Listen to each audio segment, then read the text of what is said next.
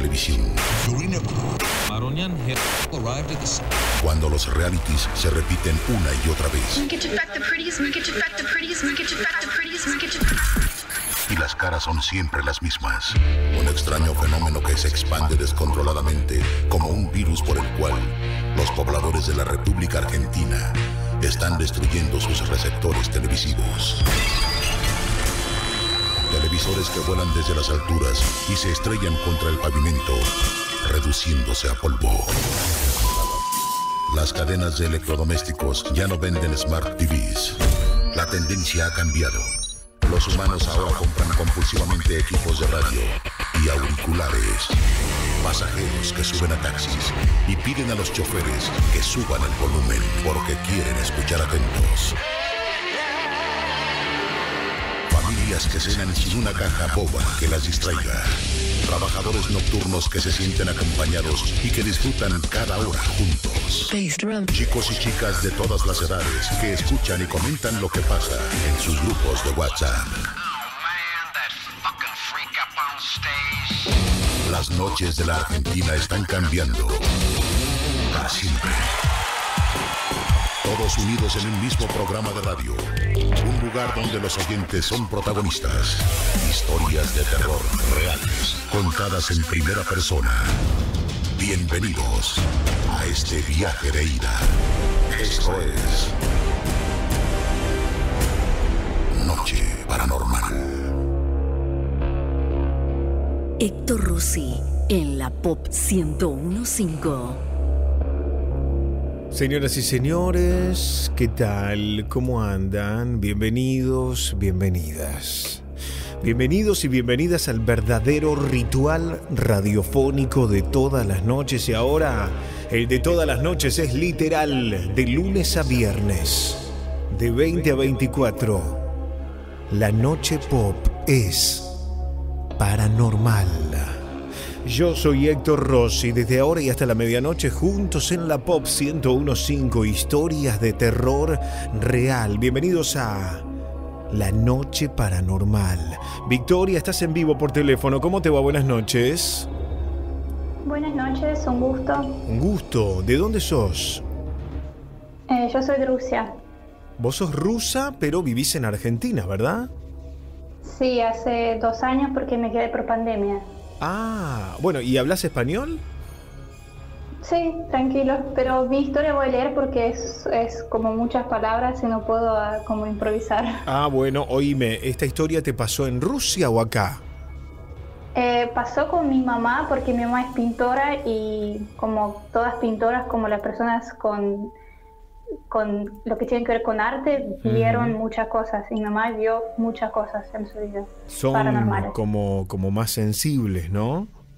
Claro, claro, para este mundo. Y yo desde mi infancia salgo del cuerpo astral, yo tengo eso. Vos podés salir, digamos, tu, tu espíritu, tu alma sale de tu cuerpo. Em, digamos que no es alma, es cuerpo astral, porque tenemos varios cuerpos. Claro. Y sale uh, cuerpo alma nunca sale del cuerpo. Es verdad, si no falleces, tu cuerpo astral se puede desdoblar. Claro. Y te podés. Y ahí ya puedes hacer cualquier cosa. Y te podés ver a vos misma. Y puedo ver a, a mí misma, pero no siempre pasa. Generalmente cuando salís del cuerpo, eh, salís en tu departamento donde empezaste a dormir, pero a veces eh, o a menudo, por ejemplo, si tiraste algún armario que era antes, lo, lo podés volver a ver. O sea, ahí es totalmente otra cosa, no es como en la vida real. Y en el espejo podés ver algún monstruo o otra persona, o por ejemplo, si tenés 40 años, podés ver la chica de 20 años, podés ver cualquier cosa. Y cuando salís a la calle, puede ser cualquier naturaleza. Y no, o sea, no es totalmente otra cosa que con la vida real. Así es como un cuento y el mundo de tu fantasía. Es muy importante que nos cuentes, si querés, antes de relatar la historia de tu madre, cuál fue la primera vez que pudiste vivir este viaje astral, esta salida del cuerpo astral. Em, yo tenía seis años y em, me, desperté ah, sintiendo que alguien me aprieta el, em, pecho y después de eso ah, salí, o sea, me fui a la cocina para tomar algo, abro la heladera, tomo y después voy a la ventana y, o sea, me, di cuenta que algo es raro porque como el aire es muy, um, muy suave, porque aire ahí es, uh, es totalmente otra cosa, te, te, des, eh, sentimiento de lo que estás volando, algo así. El cuerpo es muy livio, liviano. Y em, en la ventana, o sea, teníamos el invierno, está todo lleno de, en la vida real, todo lleno de nieve, y yo vi a la ventana y vi que es la primavera con las flores, em, impecable la naturaleza que vi. Pero yo tenía seis años y no me di cuenta, o sea, no presté mucha atención. Después me fui a dormir, entro al cuarto y veo mi cuerpo Después, o sea, y yo no asusté. Yo me acuerdo que yo acosté al, o sea, arriba de mi cuerpo y después me, me, desperté y tenía 100% de recuerdo que me pasó. Y después de eso, yo tengo ahora 28 años, eh, yo tenía 300 o 350 por ahí, 400 salidas del cuerpo mm. y los viajes astrales. Dios mío, bueno, es impresionante escuchar tus historias. ¿Y la que nos vas a relatar tiene que ver con tu madre, Victoria? Sí. ¿Podemos escucharte? La puedo leer, ¿no? Sí, claro, la vas a leer, le contamos a la gente, eh. porque vos, eh, si bien te estoy entendiendo perfecto lo que decís, hace poco que aprendiste el español, así que está bien. Adelante, te escuchamos. Ajá, mi mamá vio muchas cosas cuando era niña. Una vez ella, junto con su hermano mayor, que es mi tío, están en bosque que está cerca de nuestra casa y ellos los dos escuchan que alguien empieza a gritar tan fuerte como que lo matan. Y después de varios segundos apareció un gallo enorme de dos metros, estaba corriendo y gritando como que se escapa de alguien. Un gallo de dos metros, o sea, tenía la altura más de mi tío. Y en los ojos de mi mamá y mi tío desapareció era como un portal ahí, justo donde se terminan árboles empieza el camino, él desapareció. Mi tío tenía 16 años en este momento y mi mamá 13, así que es 100% historia real porque los dos estaban asustados, se corrían hasta la casa y contaron a su mamá, a mi abuela que me crió en la vida real y ella también me dijo que sí es verdad. Dios mío, ¿esto en qué fue? ¿En qué lugar? Eh, es el bosque que está cerca de nuestra casa, al lado de nuestra casa y ahí todo pasó. Era hay un, como un paseo, o sea, se terminan los árboles y hay un paseo para pasear y empiezan otros árboles. Y cuando cruzó, o sea, corrió y justo ahí donde terminan árboles, en, sus ojos, él desapareció. Pero gritó como que lo matan, como que... Como la y tenía la voz de la persona, la persona que está escapando de algo. Qué bárbaro, oíme, pero, en, Rusia, esto en, un bosque en Rusia. Sí, pero no es que en Rusia pasa esas cosas, pero sí. No, bueno, yo te lo preguntaba, ¿no te acordás el nombre del bosque para que la gente que nos esté escuchando pueda googlear y buscar alguna foto? Eh, bosque no tenemos, pero, eh, o sea, no tiene el bosque el nombre, pero eso pasó en Narofominsk, es uh, provincia de Moscú, Fominsk. Bueno. Y pueden poner cualquiera, ahí hay un montón de mapas de los bosques y ahí, ahí pasó. Para que lo vean. Victoria, ¿y vos ya te quedás a vivir en Argentina? Sí, pero igual yo vine solo por tres meses y ahí en Rusia están mi mamá y mis animales. No estaba preparada para vivir más que dos años. Pero yo amo Argentina desde mi infancia. ¿Y dónde vivís aquí en, Buenos Aires? En San Miguel. En San Miguel. Bueno, te deseamos un éxito. ¿Cómo descubriste el programa? Eh, yo a veces escucho, eh, también me entrevistaron en Radio Metro 95.5. Ajá. Yo amo radio de Argentina, escucho varios. Qué buena onda. Bueno, te mando un beso grande. Gracias. Gracias, chau. Estamos en vivo, ¿eh? en la Pop 1015. Bienvenidos al viernes 29 de octubre del año 2021. Calor en Buenos Aires y en gran parte del país. En Twitter usamos numeral de 20 a 24 Pop Radio. Hola Héctor, noche de viernes. Quiero que se reporten. Hola Héctor, hola Mona. ¿Desde dónde nos escuchan? Numeral de 20 a 24 Pop Radio. Numeral de 20 a 24 Pop Radio. Si querés hablar en vivo conmigo esta noche de viernes, ya mismo, escribí la palabra vivo y envíala al WhatsApp Paranormal 11. 2784 1073. La palabra vivo al 11 27 84 1073. Acordate que usamos el WhatsApp paranormal 11 27 84 1073. También podés llamarme directamente por llamada telefónica o por llamada de WhatsApp al mismo número 11 27 84 1073 grabas un audio con tu historia. La envías al 11 27 84 1073 o escribís tu historia paranormal, tu evento sobrenatural, tu historia mística. Escribíla y yo la leo, la mandas al WhatsApp 11 27 84 1073. Ya hay un video que subimos a Instagram, al Instagram de Pop, arroba Pop Radio 1015, arroba Pop Radio 1015, eventos poltergeist en una casa.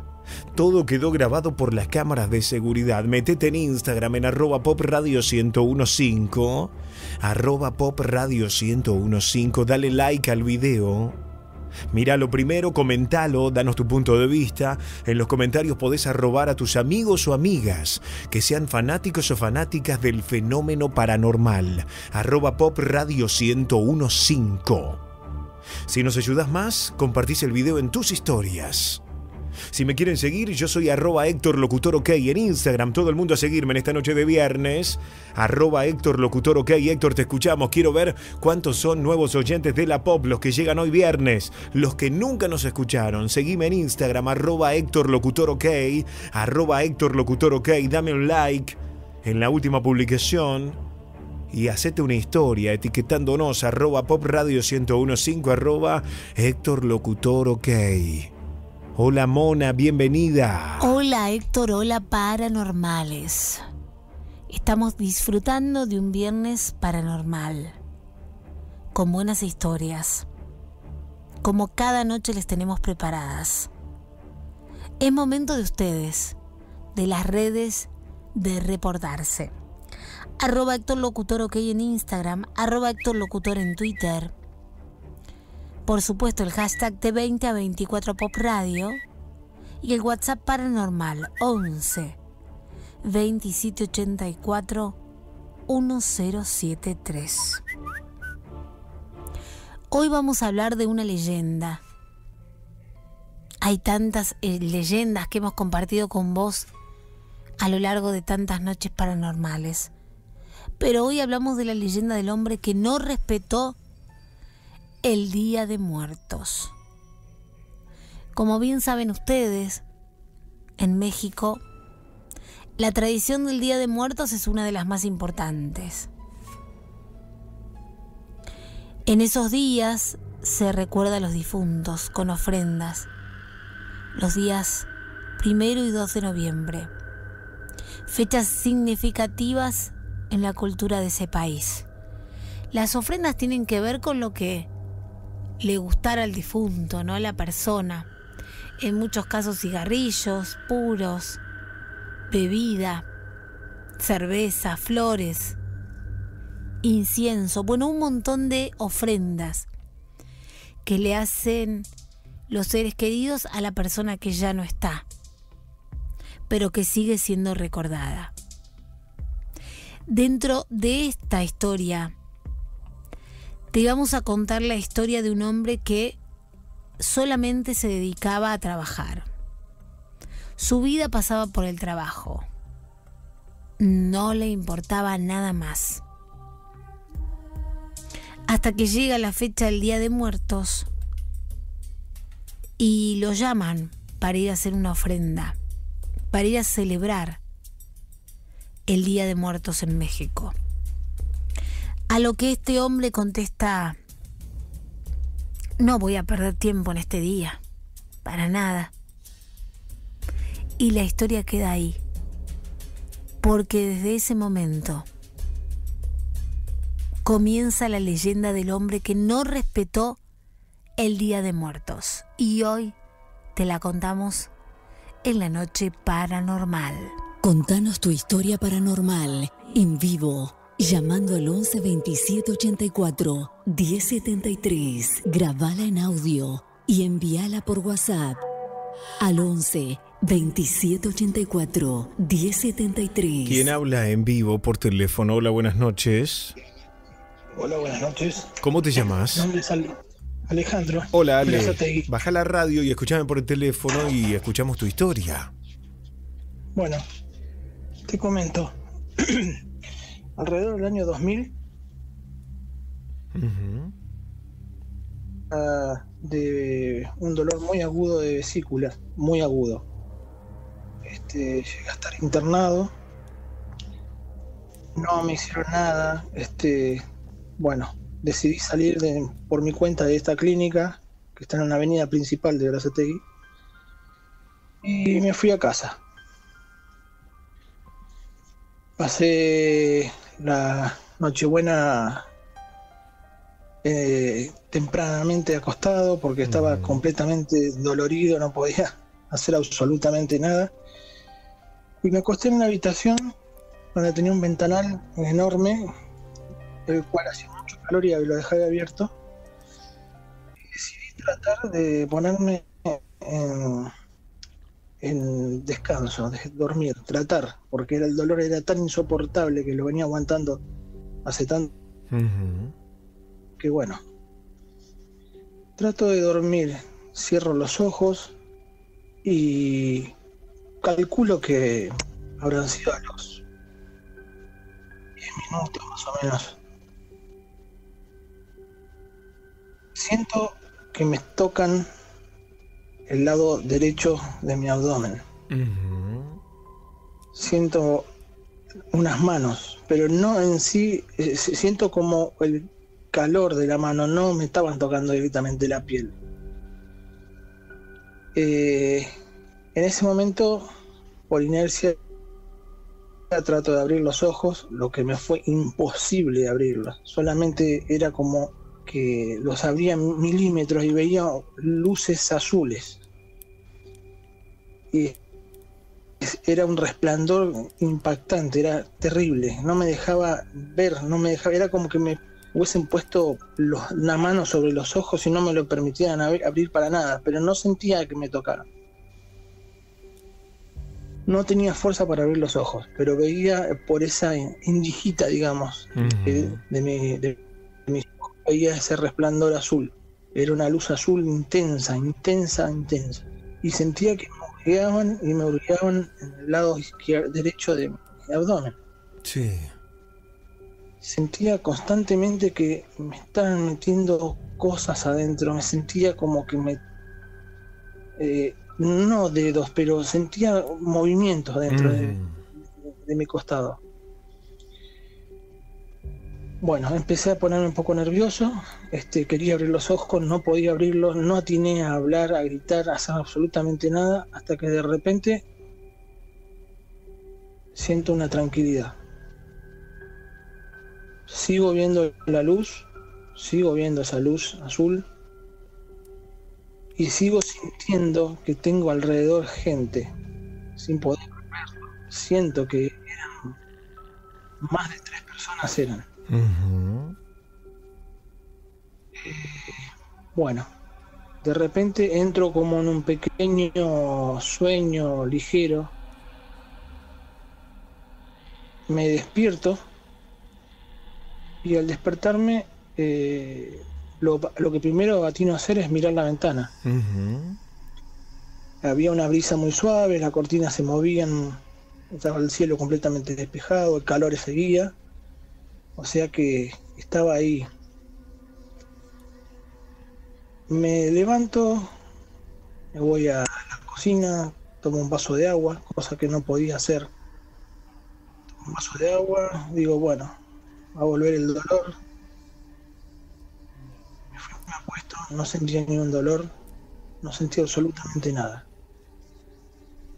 No sé qué pasó esa noche, realmente no sé, pero yo sé que alguien estuvo en mi habitación porque es el día de hoy que han pasado 21 años y jamás volvió a tener dolor de vesícula ni tampoco mm. evidencia de tener nada en, las vesículas. Hubo algo que sanó. algo que sanó. Yo sé que era algo, eran más de tres personas eran. Al menos tres personas seguro que eran, porque uno más o menos se da cuenta, o sea, intuye. Este, sentía que alguien estaba a la cabeza mía y, alguien a cada lado. Eso era lo que sentía, por eso intuí que eran tres personas. Oíme, eh, ¿y, tu, eh, tu intuición va por el lado espiritual o por el lado extraterrestre?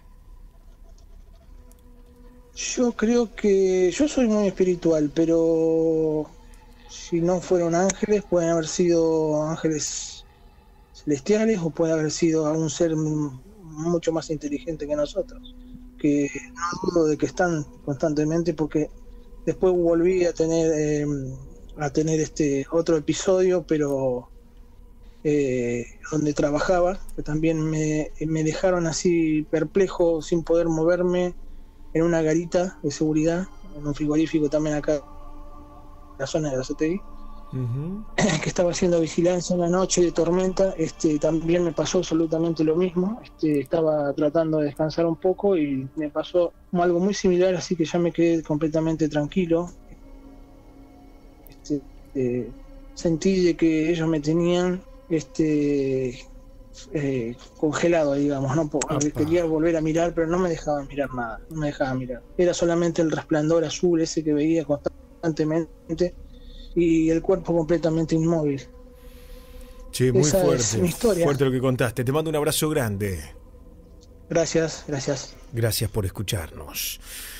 Así empezamos fuerte, ¿eh? la noche del viernes. Estamos en vivo, 29 de octubre. En Twitter pueden reportarse con una foto numeral de 20 a 24 Pop Radio. Héctor, te escuchamos desde dónde? Numeral de 20 a 24 Pop Radio. Numeral de 20 a 24 Pop Radio. Nos ayudan un montón también viralizando el contenido. Mira, nos agendas en WhatsApp agendate el WhatsApp paranormal 11 27 84 1073. Una vez que nos agendas, vas a la foto de perfil del WhatsApp paranormal, la amplias haces una captura de pantalla de la foto de perfil y la envías a tus contactos y a tus grupos de WhatsApp y les pedís a ellos que hagan lo mismo, que tus contactos reenvíen la foto a sus contactos 11 27 84 1073. Hola, buenas noches, ¿cómo andan? Soy Carlos de Varela. Les, eh, les comento ahí, había escuchado uno que decía que el perro ladraba para un lado y todo eso que contra una pared y ladra y ladra y ladra. Bueno, lo que decía mi abuela, que si querés ver lo que ven los, perros, los perros, porque contaba eso, que los perros ladran o lloran contra un lugar porque están viendo algo, apuntando a una pared donde no hay nada o algo, o algo así. Este, una, si estás llorando te puedes poner las lágrimas del, del perro y vas a poder ver lo que ve el perro ahí y la otra opción era este, mirar por debajo de tus piernas, abrir las piernas, mirar por debajo de tus piernas hacia dónde ladra el perro y vas a ver lo que hay ahí, lo que está en ese lugar. Pero, este, no sé, fíjate si lo haces, yo no lo haría, por las dudas. Buenas noches, nos vemos. Hashtag de 2024. Pop Radio. Hola Héctor, hola Pop, me llamo Roxana, soy de Congreso y quiero compartirles mi experiencia paranormal, una de las tantas eh, que tuve. Cierta noche yo siempre me quedo escuchando la radio, acostada en mi cama con los auriculares, pero justo eh, me saqué los auriculares porque se me habían enganchado, entonces me quedó el altavoz. Cuando estoy escuchando el altavoz, escucho con todas las luces apagadas en la casa, escucho unos pasos que vienen del comedor, pasan por el pasillo y se quedan parados en la puerta de mi habitación. Cuando giro la cabeza para mirar, porque mi esposo estaba acostado, estaba durmiendo, la perrita estaba en la, en la cama con nosotros, eh, no podía ser ninguna otra persona porque vivimos los dos solos. Entonces cuando miro hacia la puerta de mi habitación que estaba abierta, veo una sombra negra alta como con sombrero. Cuando yo miro la sombra, como que se aproxima y camina más rápido para pasar al lado donde yo estaba durmiendo. Entonces del susto me tapé la cabeza y empecé a rezar. Recé Padre Nuestro, Ave María, recé, recé, recé, hasta que dejé de rezar y no escuché ningún paso más. Esperé un buen rato, me fui destapando de a poco la cabeza, volví a mirar y esa sombra ya no estaba más. Gracias, muy buena la radio. La noche de pop es paranormal. Y ahora también los viernes son paranormales. A ver quién me manda un video. ¿Cómo se vive el ritual de viernes? Me mandas un video al WhatsApp paranormal. Héctor, así te escuchamos esta noche de viernes. 11 27 84 1073. Quiero ver a los paranormales de viernes. 11 27 84 1073. Mándame ya tu video. ¿Cómo vivís el ritual de viernes? Mañana no laburás, estás haciendo unas pizzas, estás transitando alguna calle en la República Argentina, en una ruta, en una garita, mándame tu video al 11 27 84 1073. Y atención, taxistas y remiseros que estén por la zona de Palermo, vénganse, venite a la puerta de la radio, venite ahora a Uriarte, Nicaragua, en la recepción de Pop. En la recepción de Pop te van a entregar unos folletos unos volantes. Si vos sos taxista o remisero, la idea es que repartas esos volantes a los pasajeros, para contarle a todo el mundo que volvió la noche paranormal a Pop, de lunes a viernes de 20 a 24. ¿Estás dando vueltas por acá? Si llegás antes de las 12 de la noche, mandate para Uriarte, Nicaragua, Uriarte, Nicaragua en la recepción, pedile al amigo de seguridad, acabo de escuchar a Héctor en Pop, que dijo que hay unos folletos para mí y te los dan en la puerta de la radio. Hola Mauro Campañolo en la puesta al aire, Alejo Moran, La Mona Carballo, Iván Cano, Lautaro Villamor, Rodrigo Blanco, el Chino Rivera, Javier Fábregas, Alejandro Persia en la coordinación. Soy Héctor Rossi, así empezó la noche paranormal. Estás en la pop escuchando a Héctor Rossi. La noche es el momento ideal para historias como estas. La noche paranormal. Héctor, buenas noches, mi nombre es Marcelo. Siendo las 22 y 42, estoy escuchándote como siempre y todos los días, de las 8 hasta las 12 de la noche. Te, acabo, te, te quería comentar que escuchándote ya tengo que yo dar el parte antes de las 11 de la noche. Llamo para dar el parte y me dicen del otro lado recién. Dice, ¿cómo? Dice, si hace un rato me llamaste. No, no, equivocado, le digo, yo no te llamé. Sí, ¿cómo que no? Paz me dice, me llamaste, me llamaste y ya me pasaste la- las novedades. No, no, no, no te pasé nada. Yo recién, mirá la hora que le digo, 22 y 42 son, le digo, recién te estoy llamando, le digo. Dice, pero te tengo agendado acá en el sistema, dice que llamaste pasando las novedades. No, le digo, fíjate, le digo, ¿no estarás escuchando la paranormal? Vos le digo, porque yo estoy escuchando la paranormal, le digo. Mirá, no, no, no, la verdad que no, no sé, no entiendo, me dice, no entiendo. Dice, bueno, bueno, está bien, me dice. No, se da cuenta que la- me llamaste recién, dice, y es que te llamé recién, le digo. Muy buena la radio, Héctor. Te escucho toda la noche acá solo en mi garita. Eh, muy buena la radio. Hasta luego. Mandanos tu historia por WhatsApp 11 27 84 10 73. Este programa lo subimos después a YouTube. Suscríbete a mi canal Héctor Locutor. ¿Quién habla por teléfono? Hola, buenas noches. Hola, buenas noches. Buenas noches, ¿cómo te llamas? Me llamo Cristian. Hola Cristian, bienvenido, te escuchamos, escuchamos tu historia. Bueno, esto pasó, eh, yo tengo 43 años. Esto pasó cuando yo tenía 18 años. Sí. Yo trabajaba en una panadería en Villa Martelli, no voy a decir el nombre, ¿no? Eh, y el hijo del dueño eh, le dice, ¿por qué no nos acompaña, por qué no nos acompañas a, al zoológico? Bueno, digo yo, yo y mi, mi amigo que, que vivía a la vuelta a mi casa, que era la- era el maestro de la panadería, ¿no es cierto? Y nosotros nos fuimos, nos fuimos a un zoológico, pasamos el día, ¿no es cierto? Y bueno, después volvimos a la panadería y dice, el dueño dice, ¿por qué no se quedan a dormir? Dice, "A ver, porque fíjate que ustedes tienen que volver a las 6 de la tarde, ¿viste? Y, y después ustedes toman el tren, ¿viste? Entonces, quédense a dormir, dice, acá, a la arenera, el lugar de, de donde se, se, se acopia la, la harina, ¿no es cierto? Ujú. Y vos sabés que nosotros, bueno, eh, comimos algo y después nos fuimos a dormir a la arenera, esa. Bueno, y estamos durmiendo los dos, eh, eh, dando vueltas, de uno mirando por un lado y el otro mirando para el otro, ¿no? Y vos sabés que en un momento dado eh, sentí, un- sentí que él me estaba apoyando, ¿viste? Como que hay algo que me estaba apoyando. Sí. Entonces le digo, che, correte, le digo yo. Correte, le digo yo. ¿Viste? Y él agarra y me dice, mira dónde estoy yo. Entonces lo quedamos mirando, ¿viste? Digo, acá pasa algo. ¿Viste? Ujú. Entonces agarré, agarré yo y digo, no, yo me voy a dormir allá a la estufa. La estufa es el lugar donde se apura el pan, que es, un horno de, de ladrillo, de, de barro, ¿no es cierto? Al lado se llama, el lugar se llama estufa donde se apura el pan, ¿no es cierto? Y vos sabés que yo me fui a dormir, agarré, puse todas las bolsas en el piso y me fui a dormir. ¿Viste? Y a la y después como a las 12 de la noche, no, perdón, como a las 3 de la mañana, donde ya era el momento de, de sacar la factura y, y ya empezar a cocinar, él baja el dueño y dice, eh, se está pudriendo todo, che, dice, vos sabés que en ese momento esto yo sentí todas eh, manos, manos que me tocaban de la punta de, de la cabeza hasta la punta de los pies. Uy, uy, uy. No sabes lo que fue eso, Héctor. Dios. Me levanto, pero como si fuera que, no sé, que me metieran un cuchillazo. Claro. Una cosa así, ¿viste?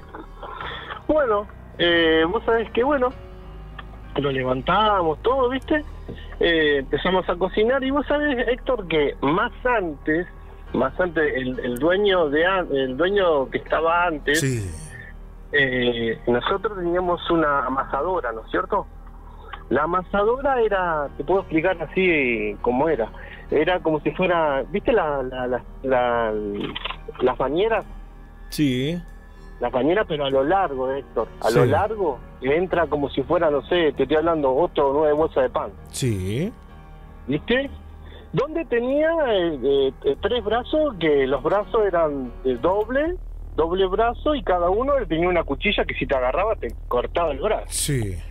Y vos sabés, Héctor, que aparece el, el maestro, que en ese tiempo estaba ahí antes, aparece el maestro, y el maestro cayó borracho, Héctor.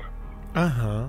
Estaba totalmente borracho. Y vos sabés que el tipo prende la máquina, tira la bolsa del pan, Héctor, y, y se cayó dentro de la máquina. Uy, Dios.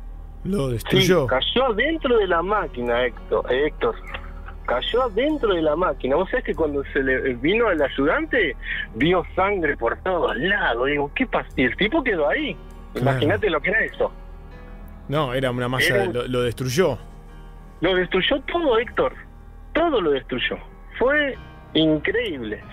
Bueno, vos sabés que hablando con mi, con mi, ¿cómo se llama? Con mi amigo este, me contó la historia eh, de la, de la, de la mujer de este hombre. La mujer de este hombre, del dueño, eh, dice que se pegó un tiro ahí en esa panadería. Claro. Delante, delante, eh, delante de, del hijo. Todas cosas oscuras, ¿no? Sí, sí, sí, y vos sabés más, y te voy a contar otra que esta también me dejó helado porque yo tampoco no, lo- no lo sabía, pero yo pensaba que solamente este este este tipo aparecía, porque nosotros escuchábamos cumbia, Héctor, Claro. y al rato se ponía folclore. Claro, claro, claro. Era increíble. La presencia del tipo estaba increíble. ahí. Che, ¿y cuál es la última que me querías contar? ¿Eh?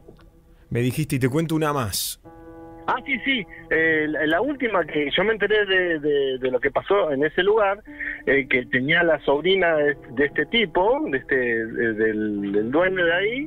¿Qué pasó? La sobrina eh, dice que tenía como 10 años y dice que se va a dormir a la estufa, Héctor.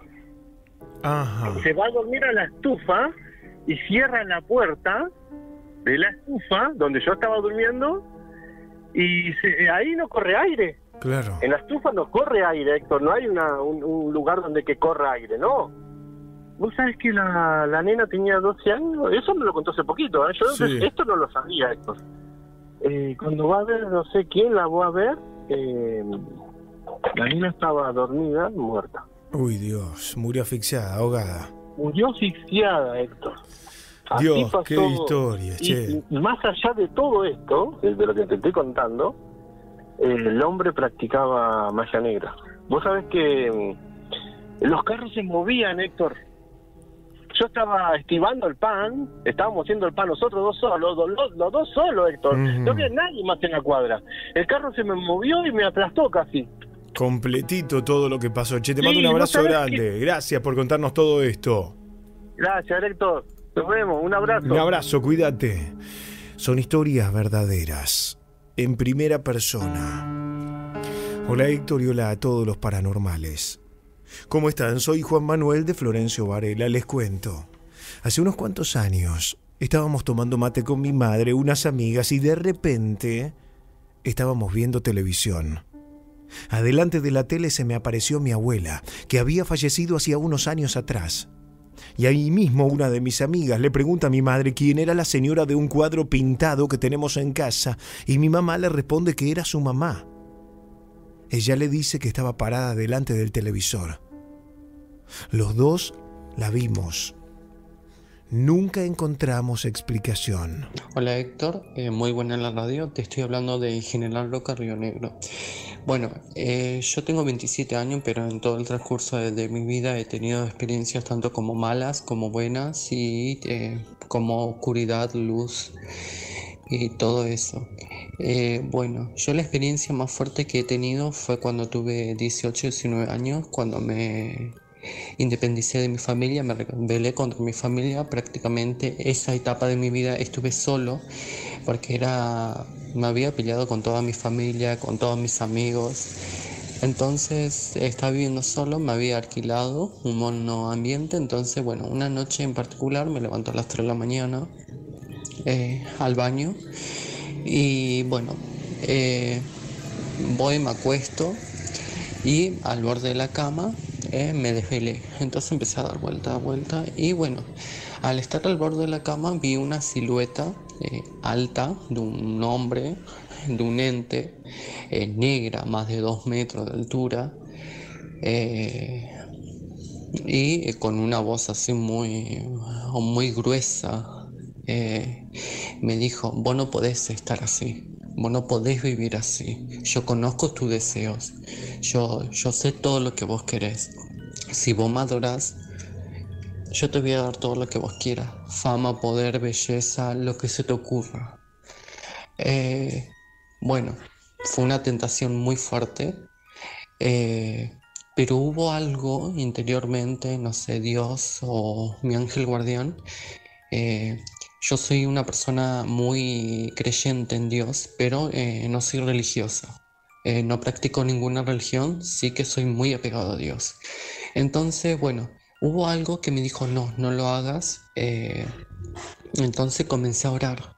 Y cuando la primera palabra de la oración, eh, este ente oscuro, eh, se fue. Una presencia, un odio, una oscuridad, una maldad que transmitía era como, wow, era el mismo mal. Entonces, bueno, eh, cuando pasó toda la bronca con mi familia, eh, le conté a mi mamá la experiencia que tuve. Y bueno, en ese tiempo eh, conocí a, una persona religiosa, en este caso un cura, y bueno, le conté al cura lo que me había pasado y bueno, me dijo que nosotros los jóvenes somos más propensos a tener eh, estas tentaciones, porque así tanto como Dios o el universo, como lo llamen, eh, sabe cuáles son nuestros deseos, estos entes de oscuridad también. Entonces, este ente, al verme en una situación tan vulnerable, eh, me tentó, me tentó con lo que yo deseaba tanto, fama, poder, belleza, lo que quieras a cambio de que yo lo sirviera. Entonces eh, fue lo más fuerte eh, que me pasó.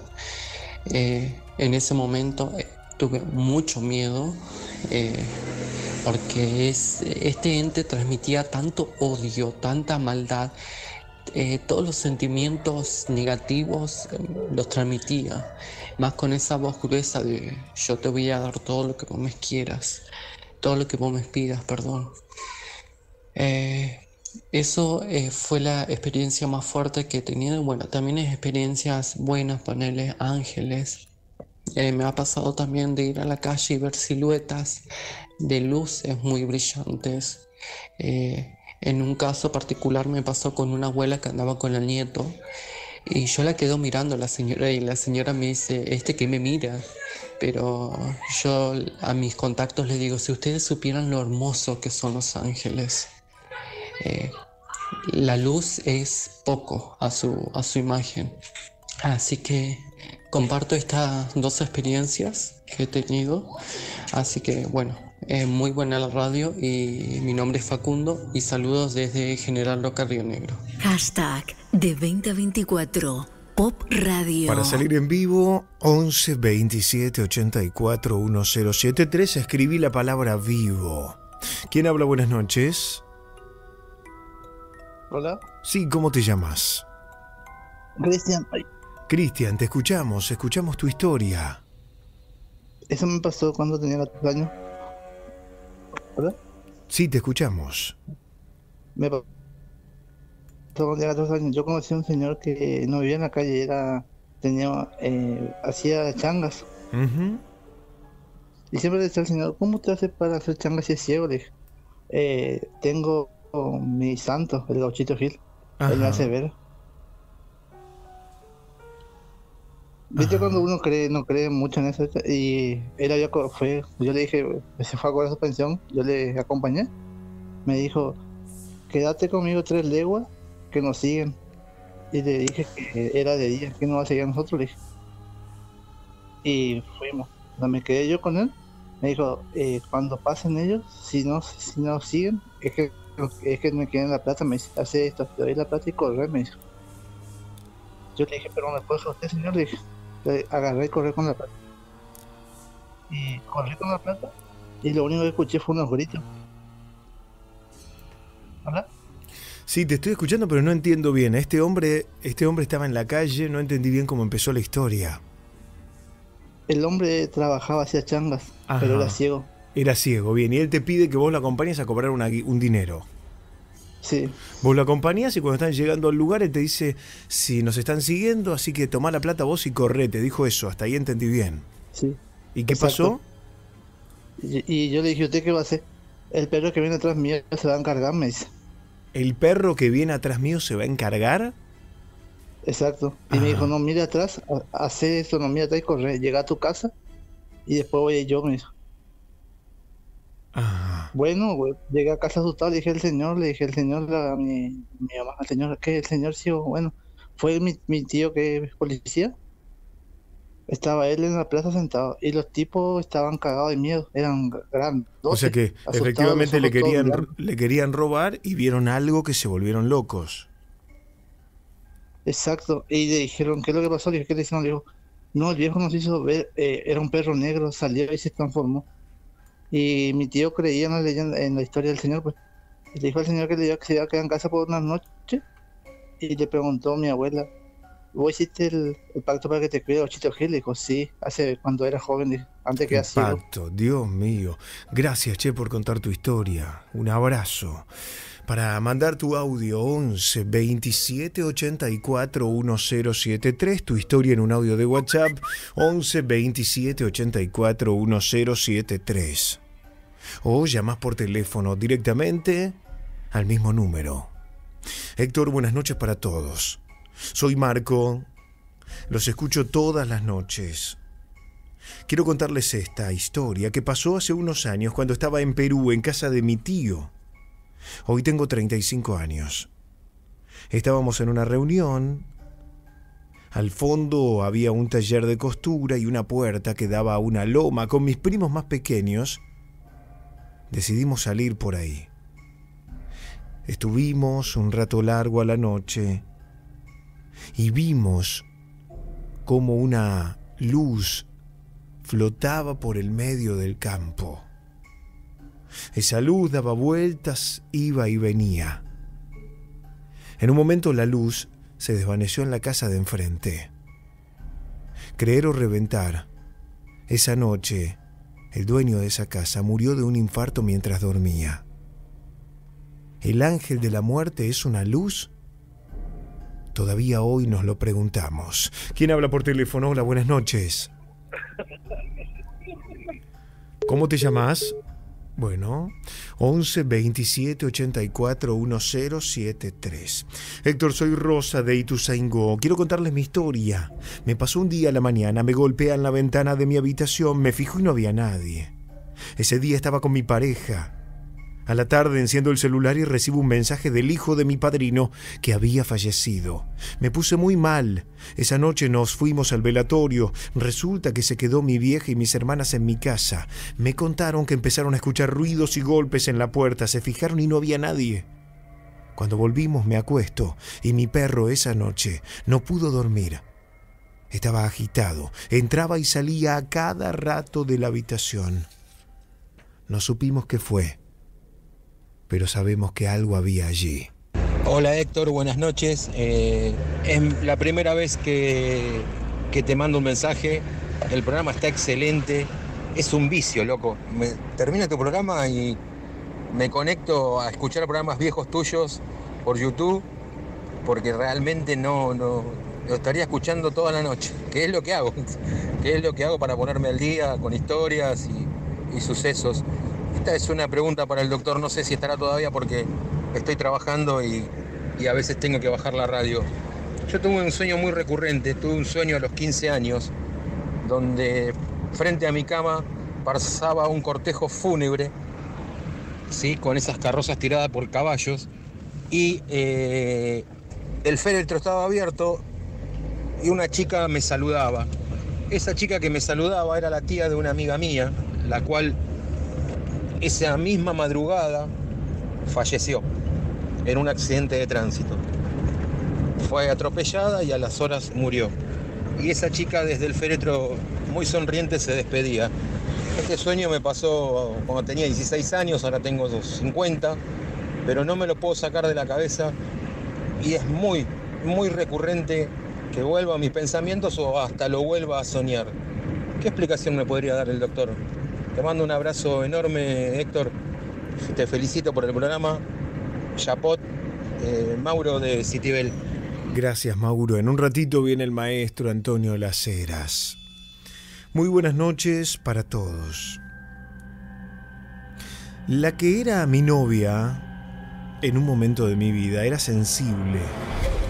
Ella me había contado que tiempo atrás cuando yo no la conocía, había intentado varias veces comunicarse con su padre fallecido y también había intentado captar otras cosas. Mi madre también era muy sensible. De joven ella había estudiado magia negra. Yo tengo 30 años. Cuando yo nací ya se había metido en el Evangelio. Las miles de historias que tengo vienen por cosas que pasaron en casa con ella. Estaba en el living de mi casa mirando una película con mi novia de ese momento. Todos en teoría dormían. En un momento ella muy asustada dice que sintió un escalofrío muy fuerte. Yo me hice el romántico y la abracé, la tapé. Cuando pasaron diez segundos, mi madre grita desde su habitación que había visto al mismísimo diablo. Héctor, no entiendo por qué el acto de morir está siempre rodeado de oscuridad. Yo suelo creer que como un paso más de la vida no debería estar rodeado de entidades siniestras, salvo que quien esté por morir tenga una energía oscura. Mi historia es referida a la muerte de mi viejo. Yo trabajaba en una escuela de Loma Hermosa, cerca del Seamse. Nunca se olía otro aroma que el de la basura quemada. El 12 de noviembre de 2004 salí de dar clases en un recreo y en el medio del patio me llené de olor a flores. Así como lo escuchás. Más tarde tomé el colectivo, lleno y a pesar de ir sentada en un asiento de dos personas, nadie se sentó a mi lado. Iba escuchando un CD de León Gieco, pero en el trayecto mi viejo de alguna manera se despedía. Solo cuando llegué a casa, digamos protegida, pude recibir el llamado desde Mar del Plata con la tremenda noticia de su muerte. Llamaron toda la mañana a la escuela para avisarme. Nunca me encontraron, no se cortaba la comunicación. Mi papá me abrazó y me acompañó a casa y me cuidó porque sabía que yo debía estar protegida ante semejante dolor. Él murió a las 9.30 en Mar del Plata y me abrazó a las 9.50 en Loma Hermosa. Soy Gaby. Mi historia es real. ¿Quién habla por teléfono? Hola, buenas noches. Hola. Sí, ¿cómo te llamas? Hola, buenas noches, Mónica. Mónica, te escuchamos, escuchamos tu historia. Bueno, mi historia es un relato largo, es real, son cosas que siguen pasando. Cuando en el 2007 con mi esposo teníamos una, eh, un proyecto de un emprendimiento, tuvimos la posibilidad de comprar una, una casa. En ese momento nos había llamado mucho la atención el precio. Eh, era una propiedad en Villa del Parque muy económica. Y mira, lo cuento y la verdad que se me acelera el corazón por las cosas que nos pasaron ahí adentro. Bueno, eh, con mi esposo hacía 10 años que estábamos tratando de, tener un bebé y, no, no, había posibilidades. Cuando decidimos comprar la casa, eh, quedó embarazada, toda una noticia muy linda. Fue todo junto, compramos la casa, nos enteramos del embarazo y bueno, y ahí empieza nuestra historia.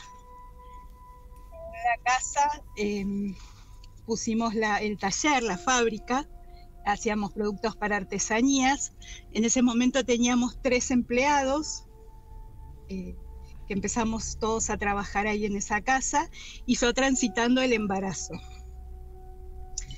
Eh, bueno, un día llegamos, eh, los empleados eran dos chicas, Margarita, Emilia y Andrés y los tres estaban asustadísimos y nos dicen, Mónica, acá pasa algo raro, eh, no, no podemos estar acá adentro, algo raro pasa. Entonces yo pensé que me estaban haciendo una broma y les digo, ay, teníamos mucha confianza, ¿no? Entonces les digo, ay, miren lo que hacen para no trabajar, vamos, ¿qué pasó? Entonces Margarita me cuenta que eh, vio por una escalera que había en un ambiente que era una escalera caracol que iba a una habitación, que vio parado a una persona, un hombre, vestido de jean y remera blanca y zapatillas blancas. Entonces le digo, pero fueron a ver si habrá metido alguien, por ahí es algún ladrón. No, no, no había nadie. Dice, yo vi esa imagen y desapareció. Emilia me dice que ella había llegado antes y había sentido mucho ruido en esa habitación. Y Andrés que pasaba por el lado de afuera de esa habitación, por la terraza, que también escuchaba ruidos. Bueno, pasó ese día, ellos estaban muy asustados. Al otro día vemos a un vecino que vivía enfrente, que estaba ahí en la cuadra hacía años. Entonces con mi esposo le preguntamos, eh, ¿sabe que si pasó algo en esta casa? Entonces nos dice que una historia muy triste, que en esa casa vivía una familia con tres hijos y el hijo más chiquito había fallecido en la casa. Eh, que era muy triste la historia de contar, entonces no me la quería contar. Y después esa casa estuvo siete años vacía. Después hubo una persona que la compró, estuvo cuatro meses viviendo se fue de ahí, la dejó cerrada por un año y después fuimos nosotros los que la compramos. Por eso también el hecho de que estaba muy económica. Mm, claro. Bueno, volvemos a la fábrica, les cuento a, nuestros tres empleados y les cuento que, que sí, que hubo una tragedia en la casa, pero que el vecino nos dijo que era el nene más chico.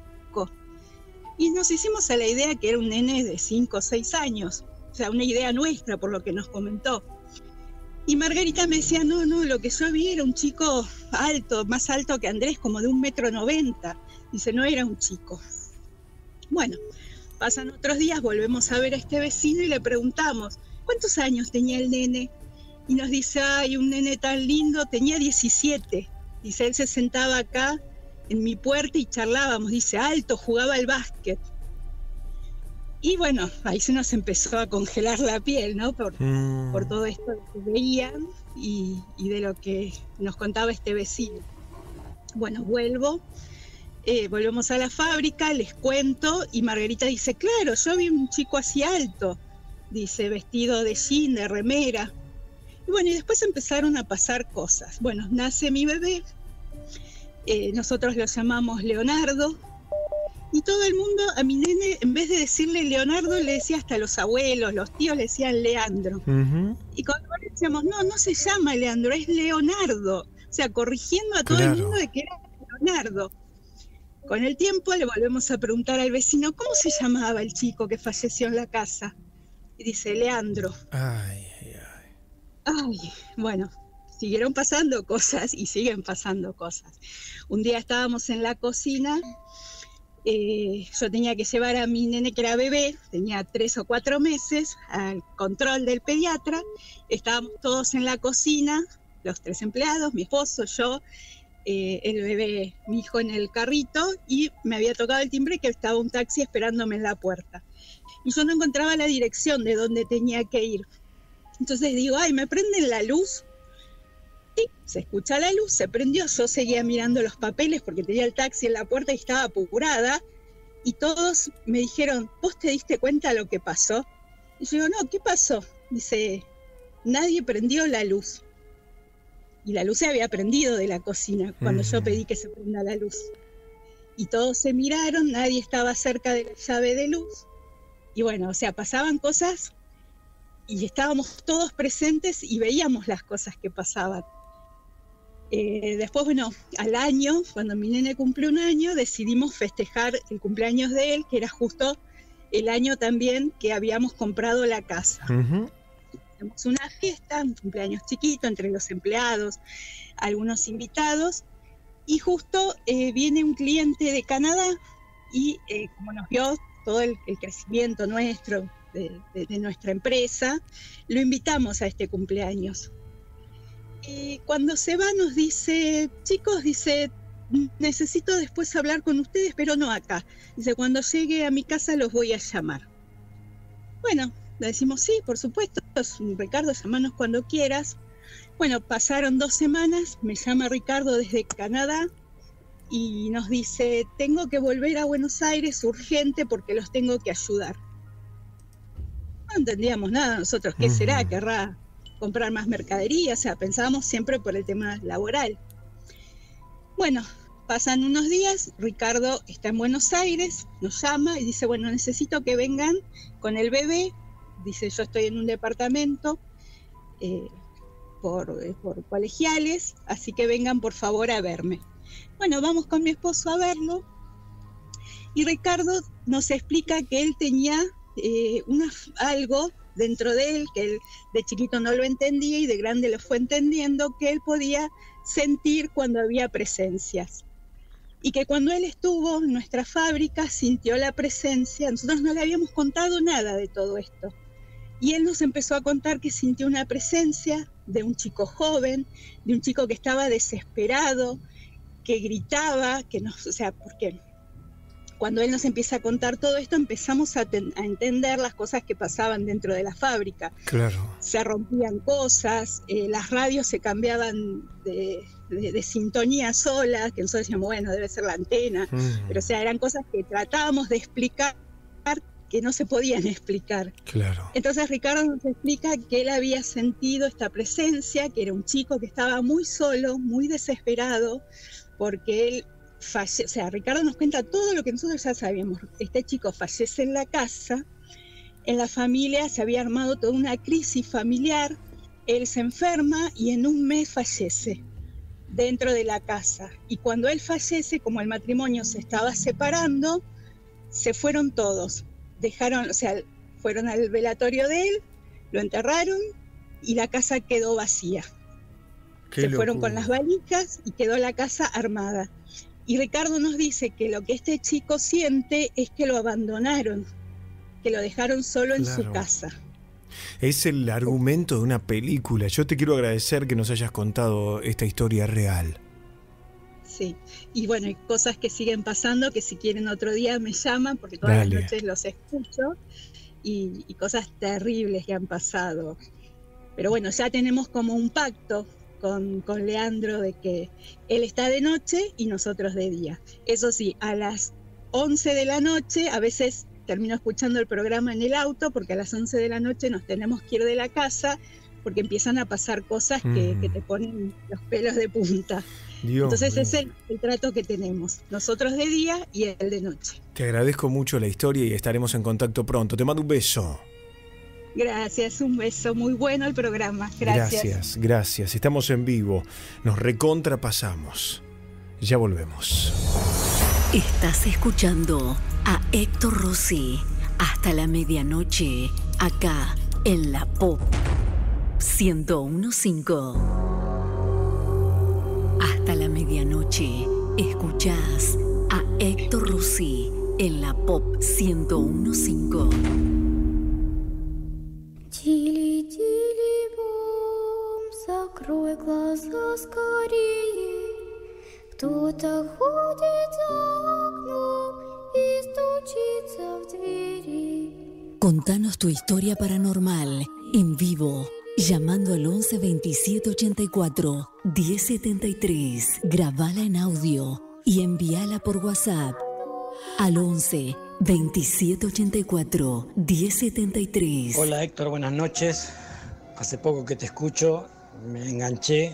Eh, muy buenas las historias, muy bueno cómo llevas el programa. Te voy a contar una historia que tuve y la someto a que opinen sobre ella. Yo tenía una expareja y las boletas de multa, las fotomultas llegaban obviamente al domicilio de ella. Y cuando llego a, la casa de ella me dice, ¿con quién viajas en el auto cuando venís del trabajo? Le digo, nadie, siempre vengo solo. Yo venía de eh, Camino de Cintura y Olimpo por allá y viví en Belgrano, sigo viviendo en Belgrano igual. Me dice, no, no te creo nada, sí, vengo solo.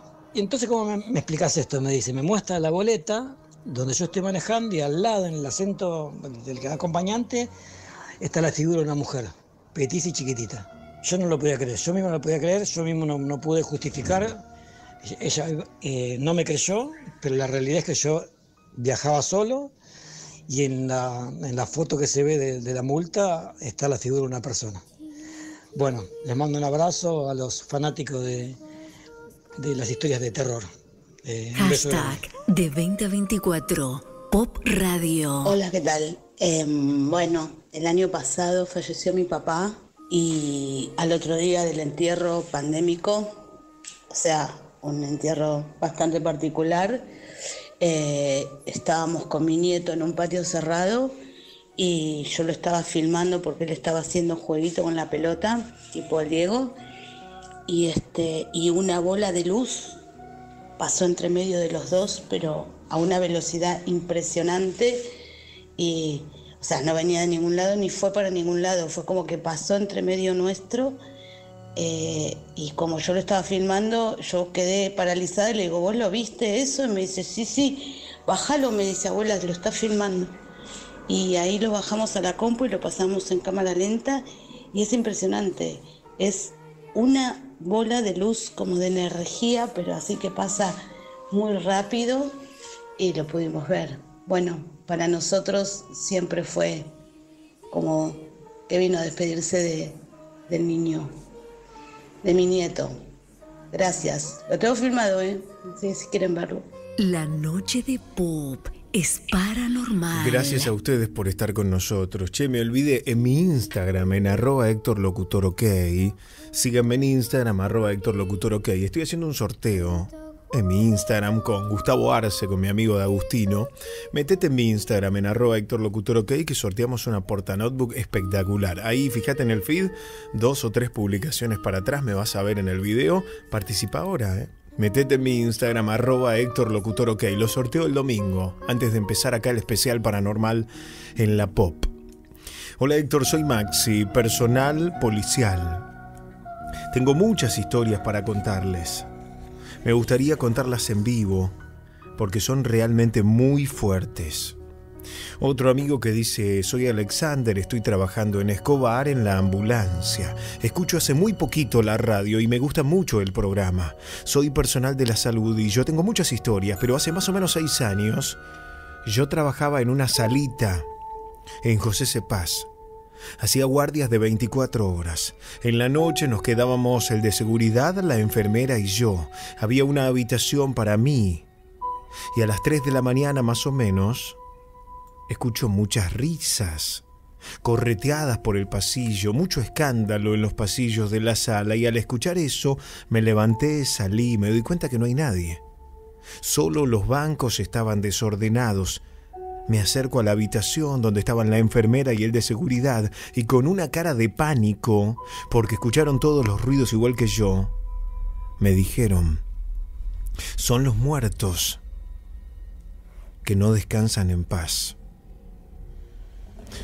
Héctor, buenas noches, soy Mónica, te cuento mi experiencia. Corría 1994, nos mudamos a una casa tipo chorizo.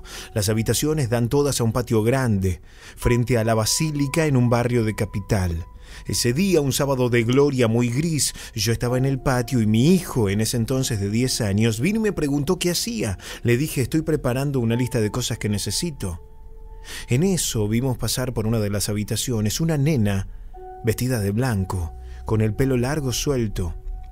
Él se fue creyendo que era mi otra hija que tenía 13 años, que iba al baño y fue directo a asustarla. Le dije, no la asustes, que recién se despertó. Enseguida vuelve mi hijo y me dijo, mami, no está en el baño. Como yo también la vi pasar, fui a ver. Y no estaba.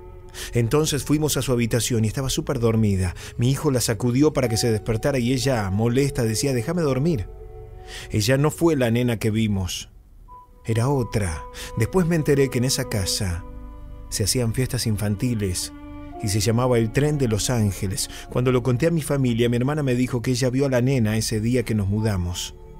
Tuve que llamar a un cura para bendecir la casa.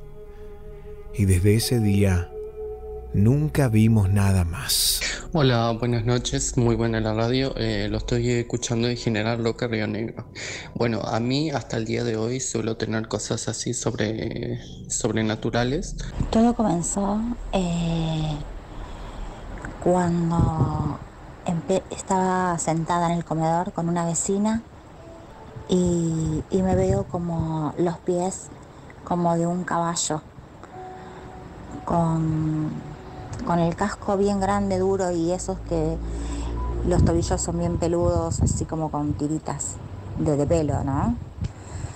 Eh, luego eh,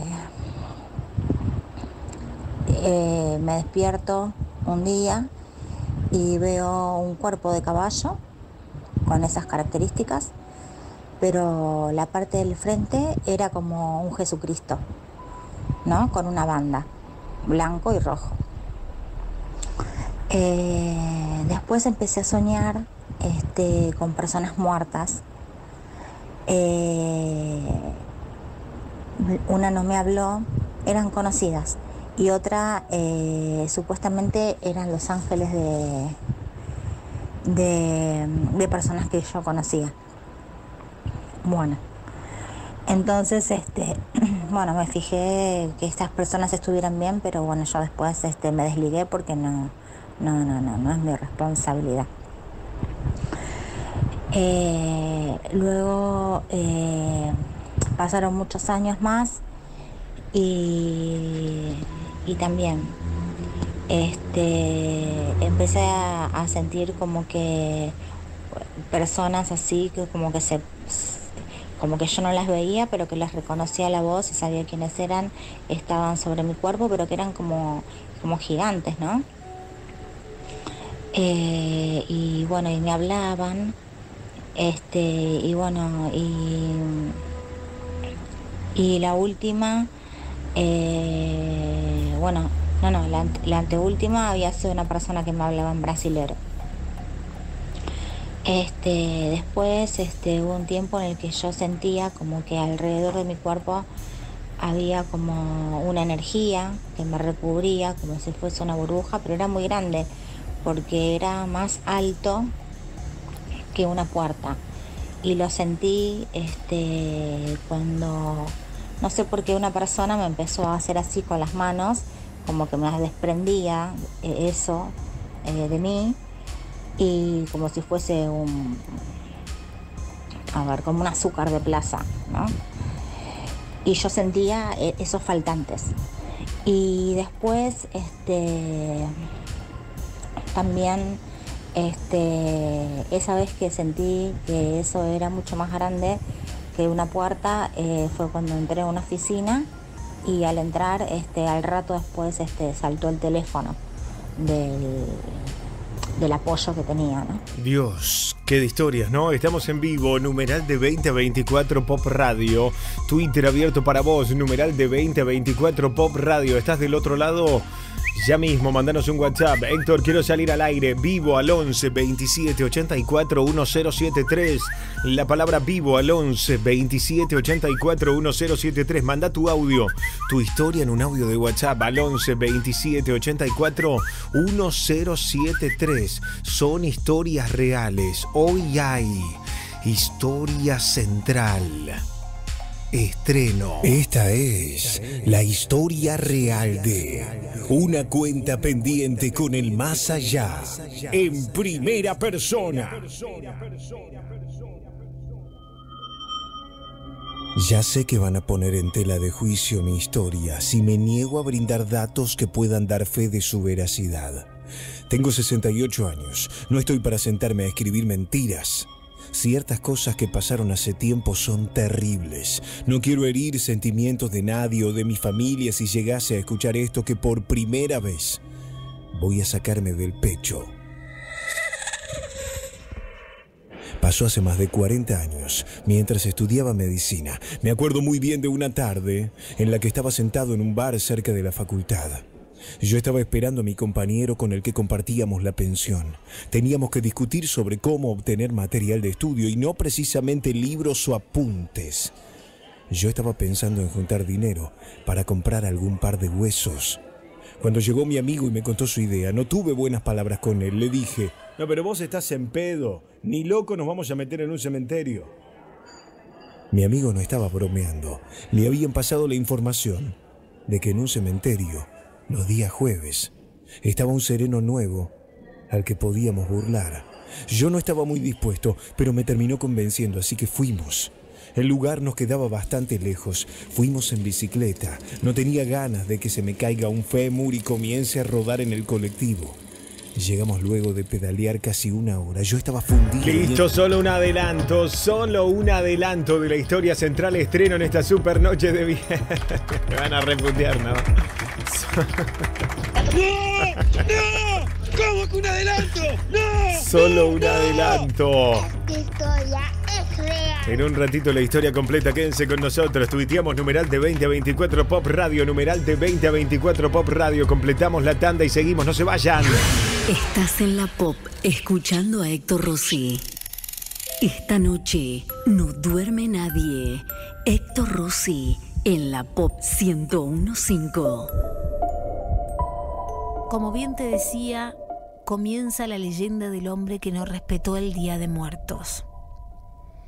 En México la tradición del Día de Muertos es una de las más importantes, donde uno recuerda a los difuntos, a los seres queridos que no están en este plano, con ofrendas el primero y 2 de noviembre, la fecha más significativa de la cultura del país. México y Día de Muertos. Día de esta tradición que deriva en leyenda y que ha pasado de generación en generación. Dentro de las celebraciones por este Día de Muertos, se espera la llegada de familiares, amigos de los difuntos, y relucen desde finales de octubre hasta inicios de noviembre. Y nace esta leyenda de la región de Huasteca que está al norte de Veracruz, cerca de Hidalgo y de San Luis Potosí. En esta zona vivía un hombre que solo dedicaba su vida a trabajar. Él estaba dedicado a la producción de sus parcelas y por esa razón, cualquier momento de su vida lo lo utilizaba solamente para actividad laboral. Solamente descansaba para dormir un rato y para comer. Al llegar la fecha del Día de Muertos, el hombre solamente pensó en su trabajo. Lo invitaron a hacer unas ofrendas y a celebrar el Día de Muertos, pero él dijo, no, no, para nada. No voy a perder mi tiempo en este día. Debo ir a trabajar a mi parcela. Todos los días debo buscar algo para comer y no gastar mi dinero para esas fiestas que no tienen nada que ver, que además me quitan mucho tiempo. Se dirigió a su trabajo en el campo y ahí escuchó una voz que le decía, Hijo, hijo, quiero comer unos tamales. El hombre pensó que era simplemente su imaginación pero conforme seguía su trabajo escuchó más voces, las cuales lo llamaban por su nombre. Después de un tiempo el hombre reconoció que eran las voces de su papá y de otros familiares que murieron. Entre sus palabras le pedían la ofrenda que nunca en esas fechas les había puesto. El hombre que solo vivía por el campo se fue a su casa para pedirle a su esposa que matara unos guajalotes para hacer unos tamales y ponérselo finalmente como ofrenda a sus difuntos. Cuando ella terminó, buscó a su esposo para avisarle que la comida estaba lista. Sin embargo, descubrió que el hombre había fallecido. Había pasado tantos años sin hacer caso a la tradición del Día de Muertos. Y a pesar de haber puesto la ofrenda a sus parientes, fue tarde. Porque según la leyenda, ellos mismos se lo llevaron.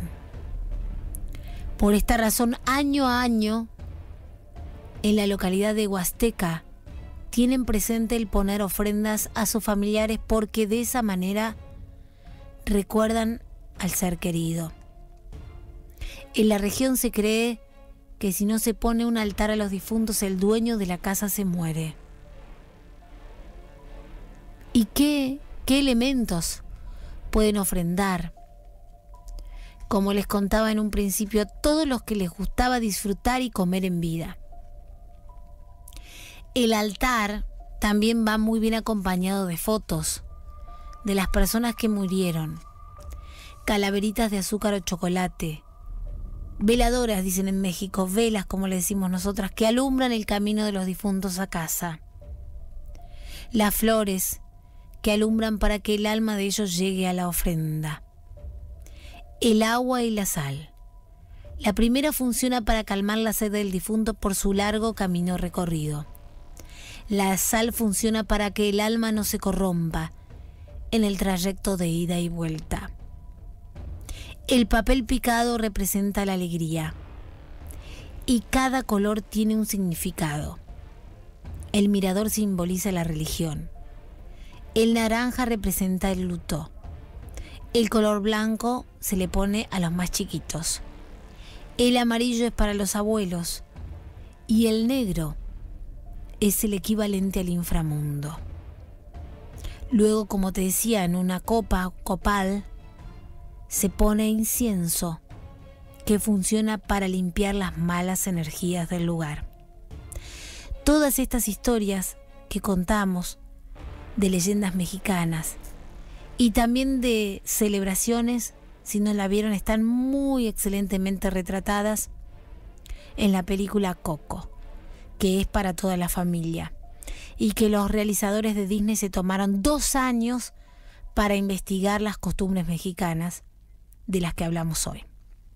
En donde, como siempre, las historias que vos querés escuchar en la noche paranormal. Esta noche escuchas voces.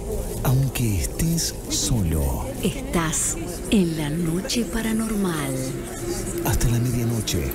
Héctor Rossi en la Pop 1015. Héctor, ¿qué tal? Mi nombre es Gastón. Eh, te escucho siempre acá en el trabajo desde Viedma Rionero eh, y te quería contar mi historia. Eh, yo todos los veranos me sabía ir a la ciudad de Villa Regina, viste, a pasar tiempo con mi abuelo. Y él tiene una pareja, tiene una pareja, ¿no? Eh, de la cual yo ya venía escuchando historias de que ella por ahí hacía trabajo, se relacionaba con gente que hacía trabajo de brujería y esas cosas, ¿viste? Trabaja, trabajo. Eh, y ella curaba males, eh, no sé, viste todas esas cosas, porque se veía gente a la casa y, y yo si estaba no podía estar con los brazos cruzados, piernas cruzadas, y si no creía me, me decía que me vaya afuera. Bueno, eh, ellos tenían una pieza atrás donde yo sabía quedarme a veces. Y, y en el patio había una mesa. Bueno, una noche durmiendo con la ventana abierta, viste, hacía calor. Y se veía clarita en la noche cuando hay luna llena, viste, clarita. Eh, tipo dos y media, tres de la mañana, no, recuerdo bien el horario, pero sí por ahí sería. Escucho que se abre la puerta de atrás de madera, ¿viste? La puerta de atrás de la casa de mi abuelo de madera. La destraban y sale alguien caminando con ojotas, ¿viste? Cuando se escucha el ruido de las ojotas. Prende un cigarro, el ruido del, encendedor, ellos fumaban los dos. Y, ¿viste? Cuando si sirven un, un vaso de- de la caja de vino, ¿viste? Que, se, que hace ese ruido. Bueno, se escucha así. Y mi abuelo no tomaba vino porque mi abuelo era más de la cerveza, siempre tomaba cerveza, ella, ella sí tomaba vino, toma creo, no sé. Y se me da por mirar por la ventana penita, ¿viste? Porque se veía ahí. Miro y la veo, ¿viste? Está fumando un cigarro. Qué raro, digo yo, a esta hora. Y ahí me empezó a dar un escalofrío, ¿viste? Digo, capaz no puede dormir por el calor, no saber, ¿viste? Y mi abuelo tenía un portón adelante que siempre lo cerraba con, con candado y, y- y cadena, ¿viste? Una cadena y candado. Bueno, ya me, ya me venía agarrando un poco de miedo, ¿viste? Y por allá escucho la, el portón que se abre, porque ni cae ni, ni aceite le ponía. Se abre el portón, lo cierran, uh, digo yo. Y hay más miedo todavía. Y por allá escucho el piñón de la bicicleta, ¿viste? Cuando la traen. Las bicicletas, ¿viste? Que hacen el ruido ese tic, tic, tic, tic. Escucho que cada vez más cerca, cada vez más cerca. Y cuando la apoyan, la apoyan contra la pared donde yo estaba durmiendo, ¿viste? ¡Fua! ¡Qué cagazo, hermano! No sabés. Salté de la cama, fui, cerré la puerta con llave, me tapé hasta la cabeza, no quise ni mirar para afuera. Ese miedo que pasé esa noche no fue tremendo. Al otro día me levanto, eh, mi abuelo se iba siempre temprano, ya a las 8 ya ponía en marcha la camioneta y se iba, ¿viste? A mí me gustaba ir con él a trabajar, andar con él, a ver lo que hacía, ¿viste? Entonces me levanto y a desayunar y mi abuelo me dice, anda a comprar factura, dice. Ahí nomás había una panadería cerca. Y me da la llave del, del portón, o sea, la llave del candado y de la cadena, ¿viste? ¡Fua! Cuando digo, veo así, digo, no, no, no podía creer, ¿viste? Quedé pensando mucho tiempo, hasta el día de hoy me quedó eso en la cabeza, no sé qué pudo haber pasado porque son cosas que, ¿viste? Que no entendés. Y bueno, nada, esa es mi historia, la quería compartir con ustedes. Muy bueno el programa y lo escucho siempre. Saludos. Estás en la pop escuchando a Héctor Rossi. Gracias por sus mensajes. 11 27 84 1073. Héctor, no importa mi nombre. Hace muchos años me pasó esto del desprendimiento astral. Me vi acostado en mi cama junto a mi hijo. No me asusté, pero me llamó la atención que mi ex estaba agachada al lado de la cama. Se levanta moviendo los labios y se va. Me despierto, recuerdo la secuencia, miro hacia abajo de la cama y veo varias velas encendidas. Al tiempo me separé. Después de varios años se lo cuento a mi viejo y me dice que él hacía voluntad eso de desprenderse astralmente gracias a un libro. Mi actual pareja una vez vio como una pequeña luz. Venía bajando del techo de su habitación y se instalaba en mi pecho y estallaba. Me despierto, me comenta asombrada lo que pasó. Le digo, quédate tranquila, que te vi por un ratito. Esto es real. Gracias por el programa. Ya está el maestro Antonio Las Heras. Tanda cortita y seguimos sin interrupciones en la noche paranormal. Ya volvemos. La noche paranormal. Escuchar para creer. Hasta la medianoche. Héctor Rossi en la Pop 1015. Esta noche escuchas voces. Aunque estés solo. Estás en la noche paranormal. Hasta la medianoche. Héctor Rossi en la Pop 1015. Hola Héctor, buenas noches. Saludos a Mona. Muy buena la radio, te escucho todas las noches desde el trabajo. La verdad que las historias son muy interesantes, me, encanta todo lo que es eh, espiritual. De hecho, yo practico la religión umbanda. Eh, tenía una pregunta para el señor Antonio Laceras, o quien pueda responderla. Eh, este muchacho que falleció Carlos Acutis, que era un muchacho muy joven en el momento de fallecer, este, muy religioso, que predicaba la palabra, bueno, y que se le atribuye también un milagro. Eh, que bueno, el Vaticano decidió eh, beatificarlo, se dice, lo beatificaron, o sea, como un santo, ¿no? Mi pregunta es, o sea, ¿Qué pasa con el alma de este muchacho al ser, digamos, al pasar a ser un santo? Eso es nada más que para una, o sea, queda, eh, digamos, como un santo en la parte terrenal para nosotros, para nuestra mente, pensar que este muchacho es un santo, o realmente en el mundo astral, en el mundo espiritual, después de, de esa mención o después de esa este, de ese ascenso, digamos, por parte de la Iglesia Católica, el alma de ese muchacho pasa a estar en otro plano distinto al que se encuentra en este momento. Bueno, era una inquietud que tengo de tantas, pero bueno, eh, espero que el doctor Antonio Lacera me lo pueda responder. Muy buena la radio, un saludo grande. Héctor Rossi en la Pop 1015. Bueno, son fenómenos de sincronicidad porque todavía ni lo presenté a Antonio, está en línea igual, ahora lo voy a presentar. Este mensaje no era una consulta para Antonio, era un mensaje de historia que justo sale al aire, justo Mauro Campagnolo, nuestro operador, lo pone al aire ahora y nos sorprende con esto. Yo le agrego algo, un poco de la vida de Carlo Acutis.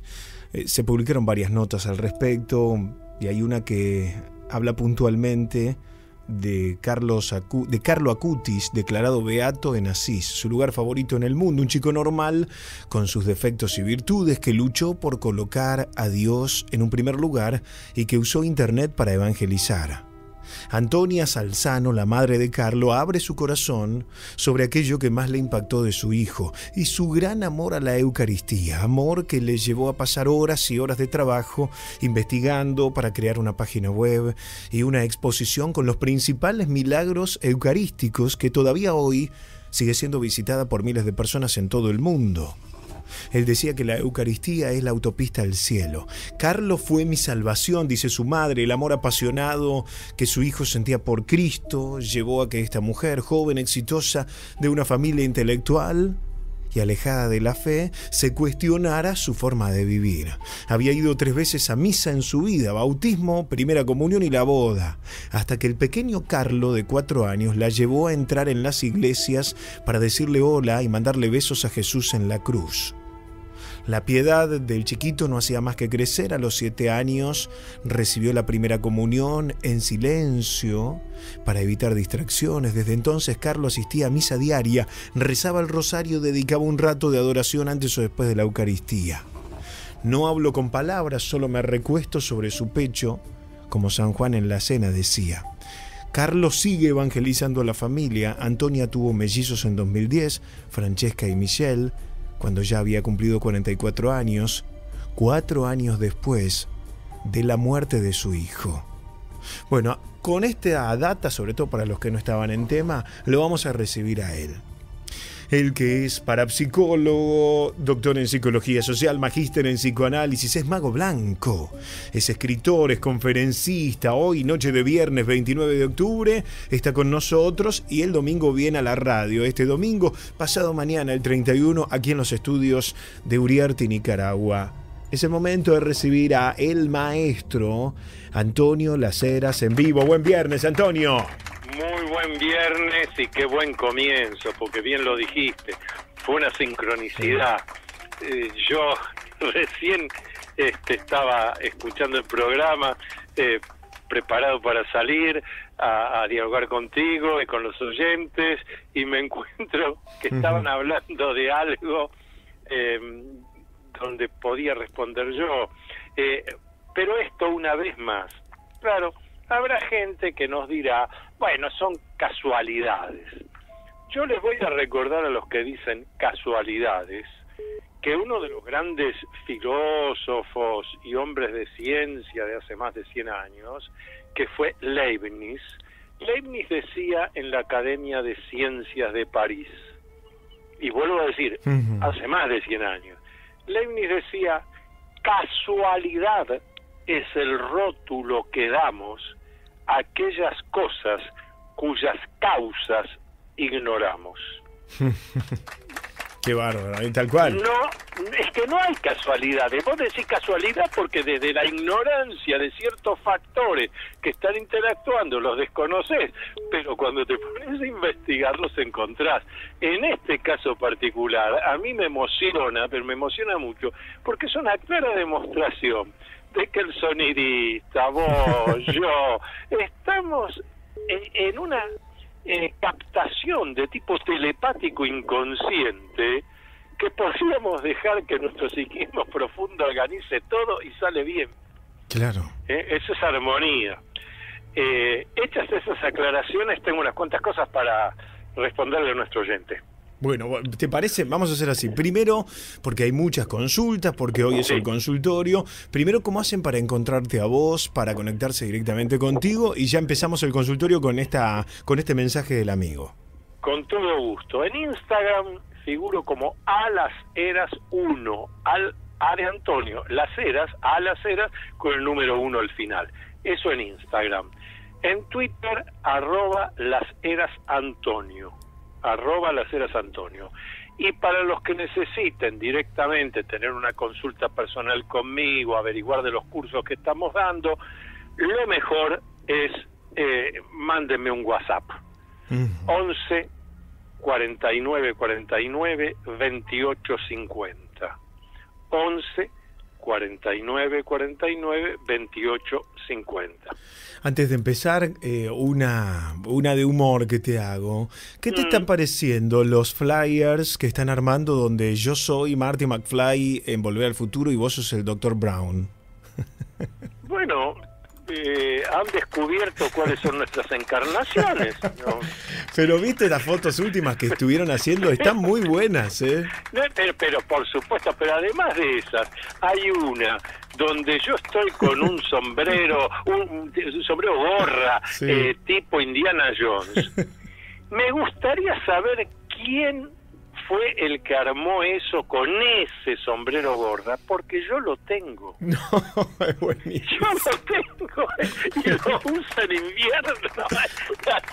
De ese mismo color y de ese mismo jaspeadito.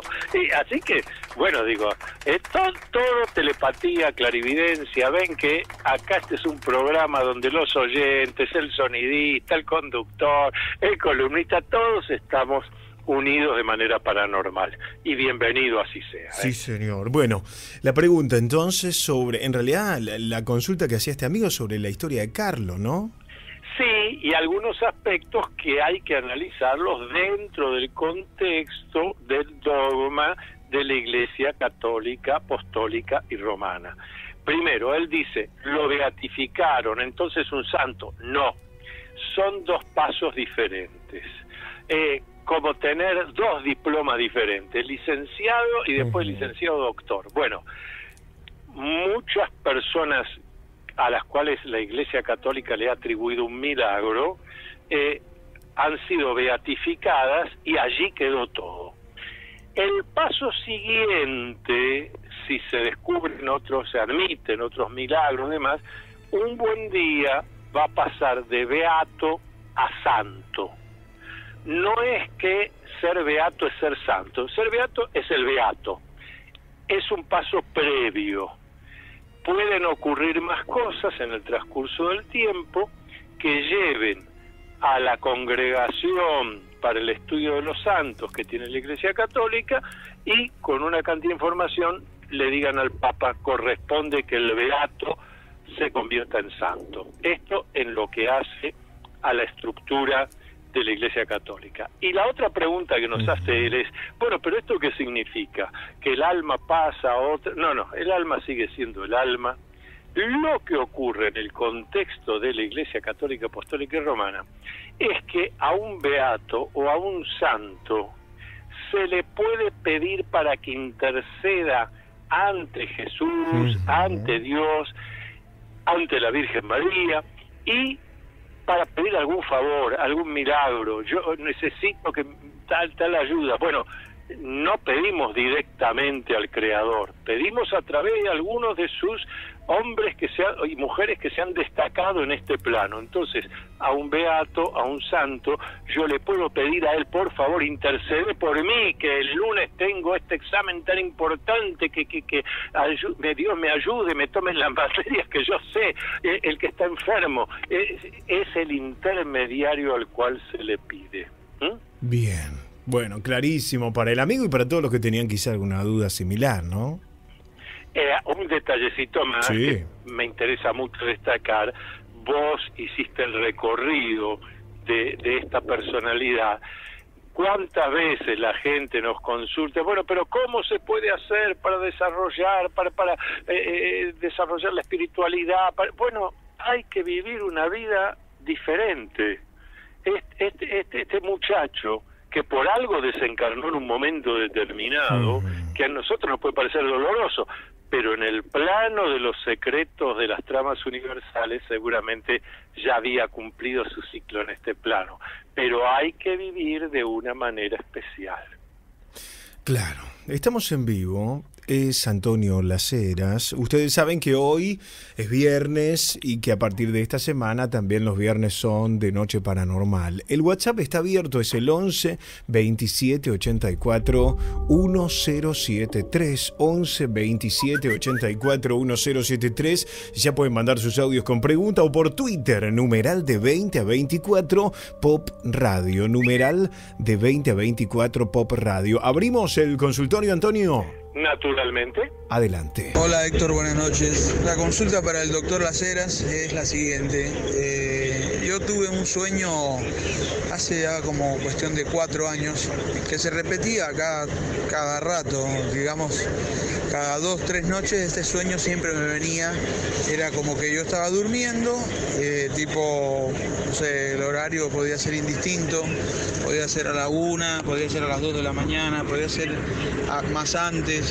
Eh, la cuestión es que siempre me, me- despertaba sobresaltado en la cama y siempre miraba al techo, como que había una araña en el techo, o sea, una araña bastante grande en el techo, una araña negra grande, era como una tipo tarántula así enorme. Y siempre me llamó la atención eso, nunca supe qué significaba esa araña en el techo. Esto siempre me, ocurría en mi casa en Cuba, en el techo de mi casa en Cuba, en mi cuarto, siempre veía esa araña negra y, entonces me despertaba como sobresaltado y decía, no, la araña, hay que tener cuidado con esa araña, que viene una araña ahí, una araña y mi mamá venía al cuarto y me decía, ¿qué araña, hijo? No hay nada ahí.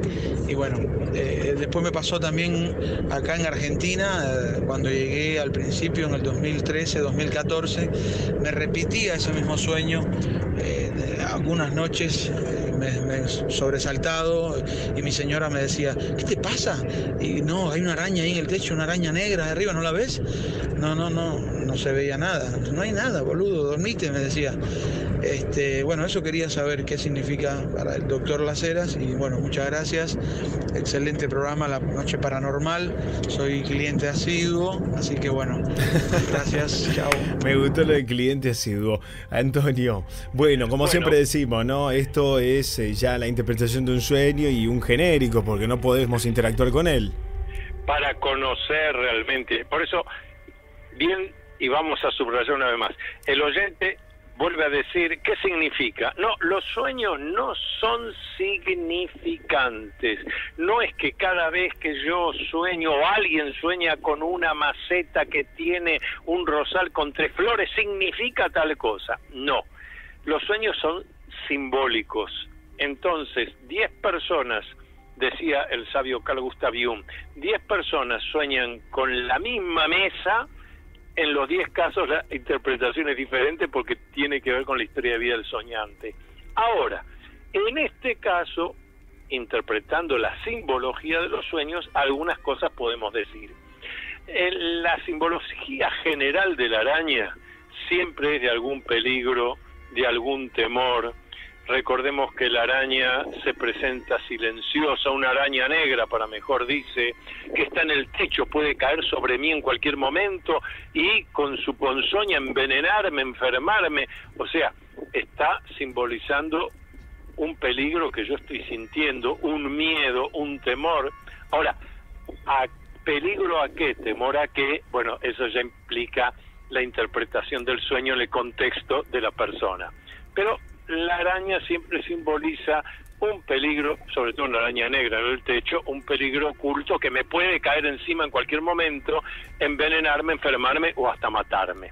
No es que me va a matar físicamente, sino que simbólicamente está señalando estoy frente a algo que yo tengo miedo que me perjudique, que me arruine mi vida. Claro. Bueno, sépanlo, eh, porque cada vez que ocurre, y de hecho hoy va a haber alguna consulta más de, de int- interpretación de sueños, porque obviamente es como un efecto dominó, pero está bueno contarles al aire que también pueden aprovechar, que deberían aprovechar, eh, que deberíamos aprovechar este consultorio con Antonio para cosas que vivimos en la vida real, digo, experiencias sobrenaturales, parapsicológicas, paranormales, esas cosas.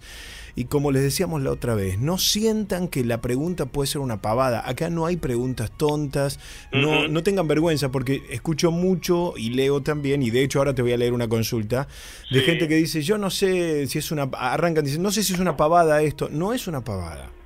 No, no, no se sientan, no se, no se, primero no se autocensuren y después hagan la pregunta y en todo caso si, si no hay respuesta o si no, no podemos este, completarlo vamos a decir al aire. Escucha esta, Antonio dice, buenas noches, soy Marcelo, para Antonio Las Heras. Mi hija dice que ve gente muerta. La llevé a varios psiquiatras y nadie da con la tecla. El último, que la está viendo, ya me dijo a mí que es algo espiritual. Yo ya no sé qué hacer ni qué creer. Gracias, Marcelo. Bueno, ahí es donde intervenimos nosotros, los parapsicólogos, la gente del campo esotérico, espiritual, sobre todo una vez que el médico psiquiatra Claro. ha hecho ese excelente diagnóstico.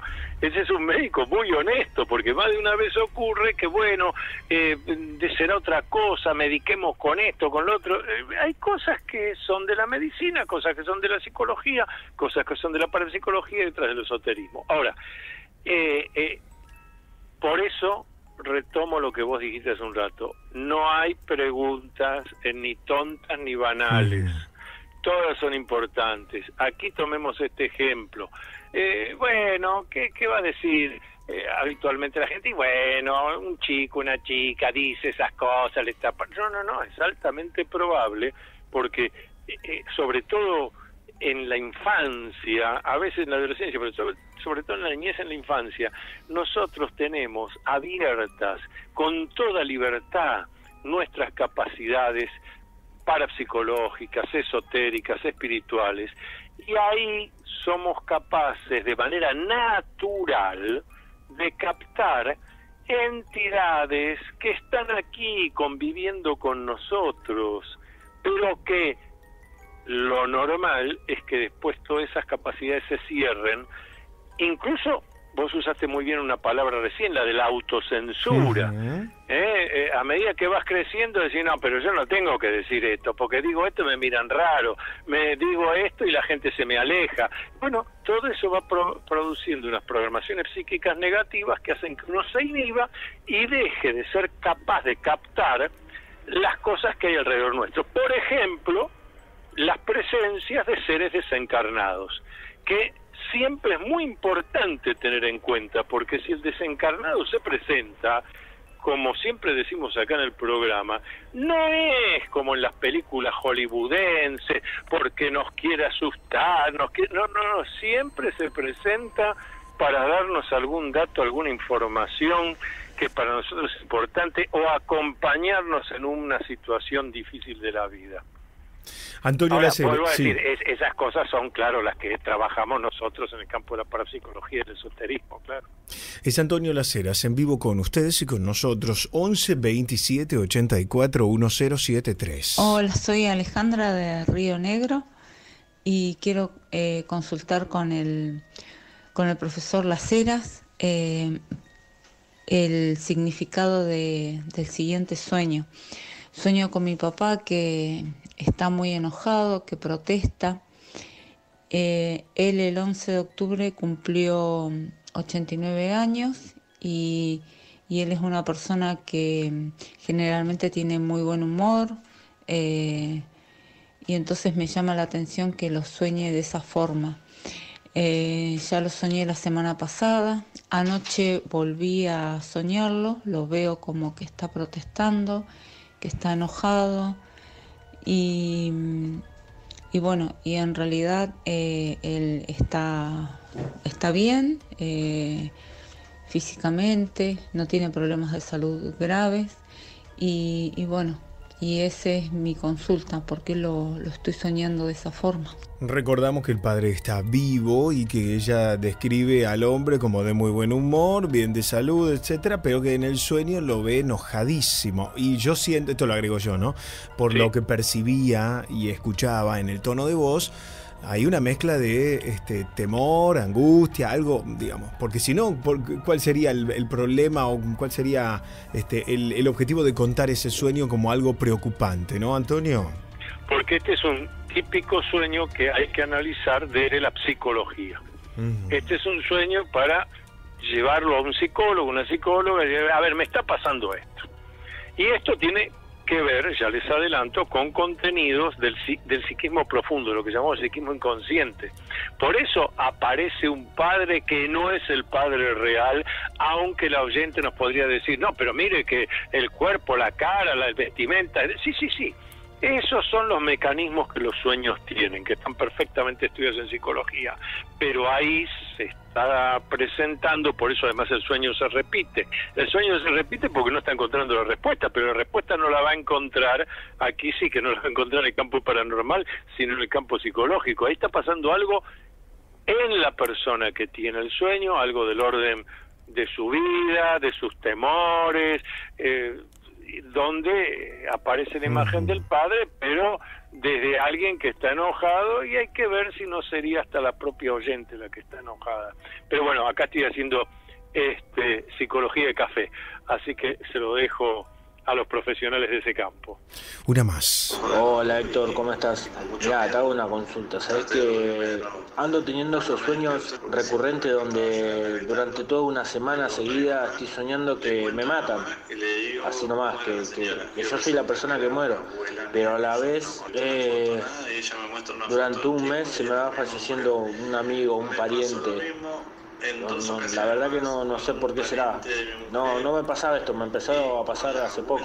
Bueno, acá hay algo ya distinto, ¿no? Porque este hombre dice que sueña en el último tiempo, bien lo, lo contextualiza. En el último tiempo empecé a sonar, a soñar que me mataban, que me mataban, que me mataban, coincidiendo con que en el último tiempo fallecieron seres queridos cercanos, ¿no? Acá ya no es solamente lo que ocurre en el plano onírico, entiendo. ahí sí tenés un sueño de tipo parapsicológico. Probablemente está captando en forma telepática la situación que están viviendo algunos seres queridos, prontos a desencarnar por alguna enfermedad grave, algún trastorno, y él lo está captando. Pero el sueño, como es simbólico, no significante, aparece él como si fuera el que muere. Dicho sea de paso, podemos hacer acá una interpretación fina, interesante y que habla muy bien del afecto eh, de- de- del oyente hacia esas personas que están falleciendo, desencarnando, porque casi que el, men- el metamensaje sería, hubiera preferido morir yo a que mueran ellos. Claro. Qué fuerte, ¿no?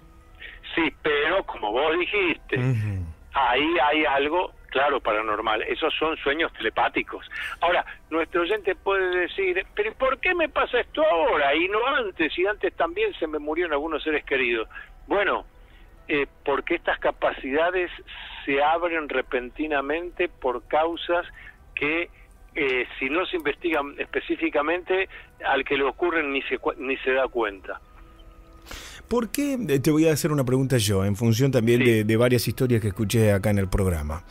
¿Cómo se define o cómo se mm, describe la experiencia, entiendo también telepática, de aquella persona que recibe bruscamente la información de la muerte o del desencarnar de alguien? Por ejemplo, te voy a dar un ejemplo que aquí escuché muchas veces. Alguien que en el medio de la madrugada se despierta sobresaltado con una certeza. Murió la tía, murió mi mamá. O sea, se no, no puede explicar el por qué tiene esa información, pero despierta bruscamente y tiene la certeza. Inmediatamente llega el llamado que le cuenta del accidente que tuvo la madre o de la abuela que estaba internada y que falleció en el hospital. Digo, ¿eso también es telepatía? Claramente eso es captación telepática y eso es lo que los parapsicólogos enseñamos siempre, que eh, cuando la persona eh, en alguna conferencia alguien nos dice, bueno, pero ¿por qué siempre con desgracias? Le voy a explicar por qué siempre con desgracias. Porque los seres humanos tenemos dos maneras de percibir.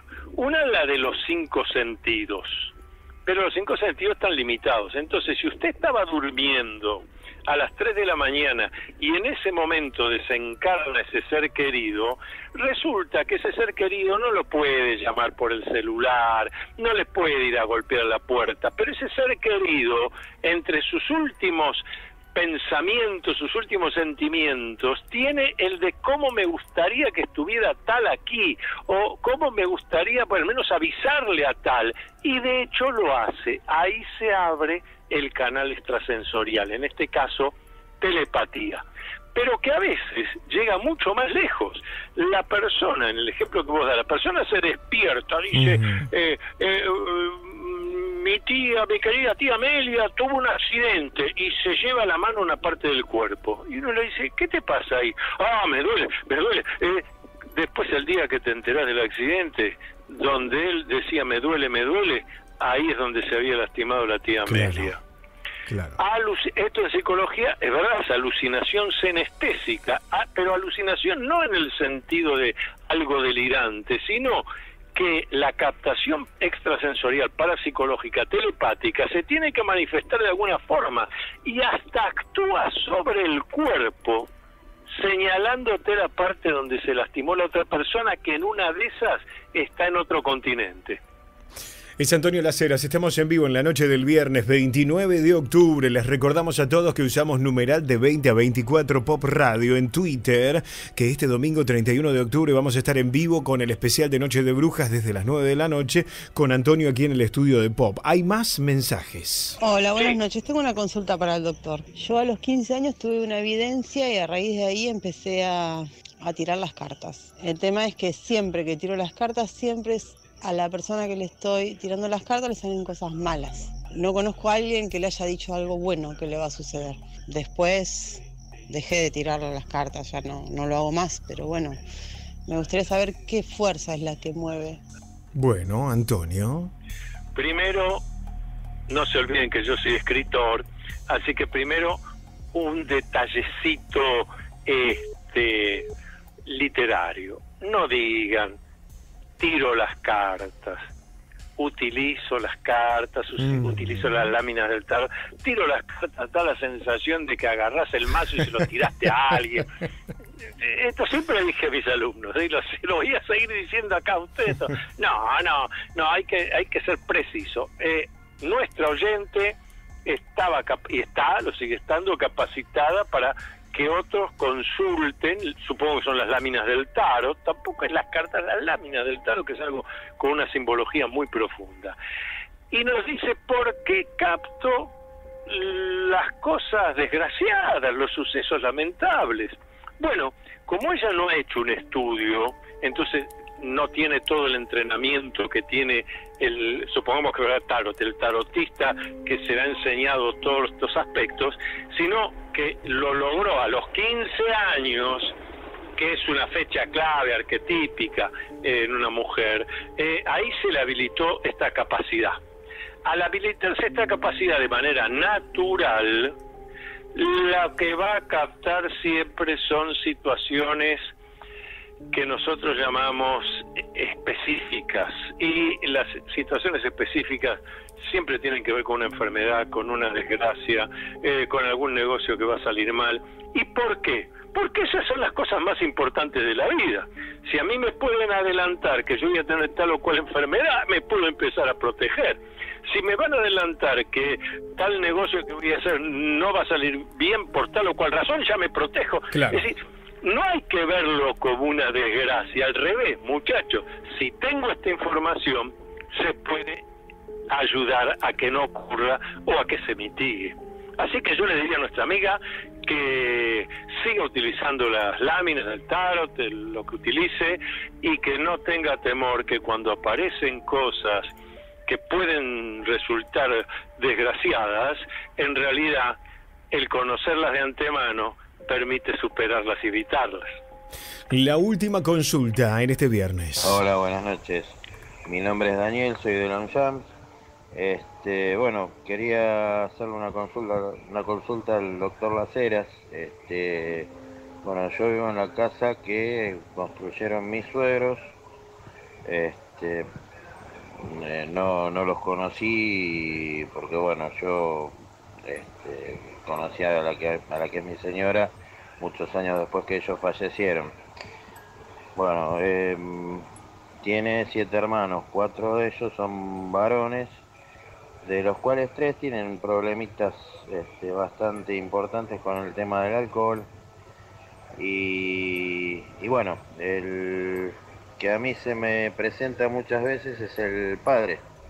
Este, y el padre, bueno, es como que está acá em, buscando solucionar el problema de los hijos, o sea, tratando de que dejen el alcohol y, y demás, o sea, los, los cuida para que no se maten, para que no hagan macanas y qué sé yo, pero bueno, el hombre quiere el descanso eterno y no puede mientras ellos estén. Y lo que me pide a mí, o sea, tuve un cierto diálogo con él, este, no muy largo, pero bueno, eh, lo que me pide a mí es que trate de hablar con ellos para este, que él pueda tener su descanso, que él no se puede presentar ante ellos, este, pero sí se puede presentar ante mí. Eh, bueno, eh, yo lo que quisiera saber, porque son bastante este, duros de, de- de entender y, bueno, no creen supuestamente en todo esto que, que pasa, ¿no? Eh, ¿Cómo puedo comunicarme yo con ellos para que, este, bueno, dejen de hacer las cosas que hacen para que el padre pueda tener el descanso eterno? Eh, bueno, gracias, el programa es excelente, hace poco que los escucho, este, la encontré de casualidad la radio, este, y bueno, eh, Un saludo para Gracias, gracias, querido. Bueno, Antonio. Mira, eh, que de vuelta, qué coincidencia significativa. Hace pocas horas en mi instituto estuve atendiendo una consulta de una situación muy parecida. Así que voy a dar la misma respuesta. No, no, no, no.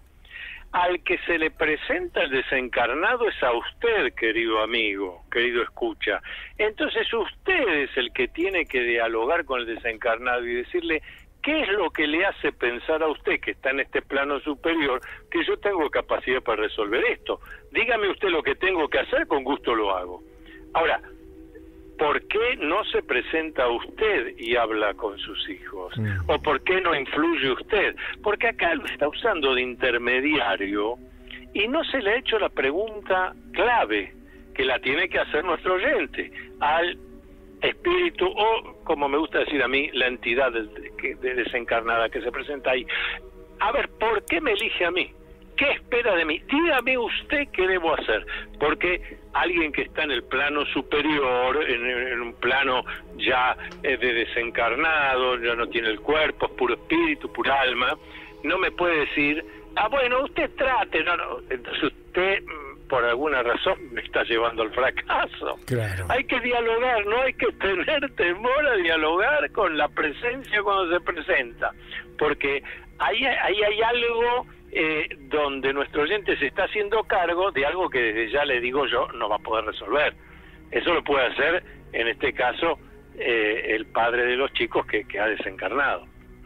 Pero hay que interrogarlo a él, a ver qué espera, qué dice usted, deme las instrucciones, deme el mapa, ¿qué debo hacer yo? A ver qué sale de ese diálogo. Clarísimo, ¿eh? para el amigo si sigue escuchando la radio. Antonio, llegamos hasta acá, pero nos vemos pronto porque pasado mañana vas a venir acá a la radio. Vamos a estar en vivo, en un especial de Noche de Brujas. Vamos a compartir también la primera parte del programa con Carmen Peña desde la Ciudad de México en el desfile del Día de Muertos. Y luego nos meteremos en la Noche de Brujas y también van a poder eh, hacerte las preguntas. Abriremos un consultorio, pero con una particularidad que va a ser en vivo y en directo a través del teléfono directo de Pop Radio, por el cual vas a tener la chance de repreguntar. Magnífico, magnífico.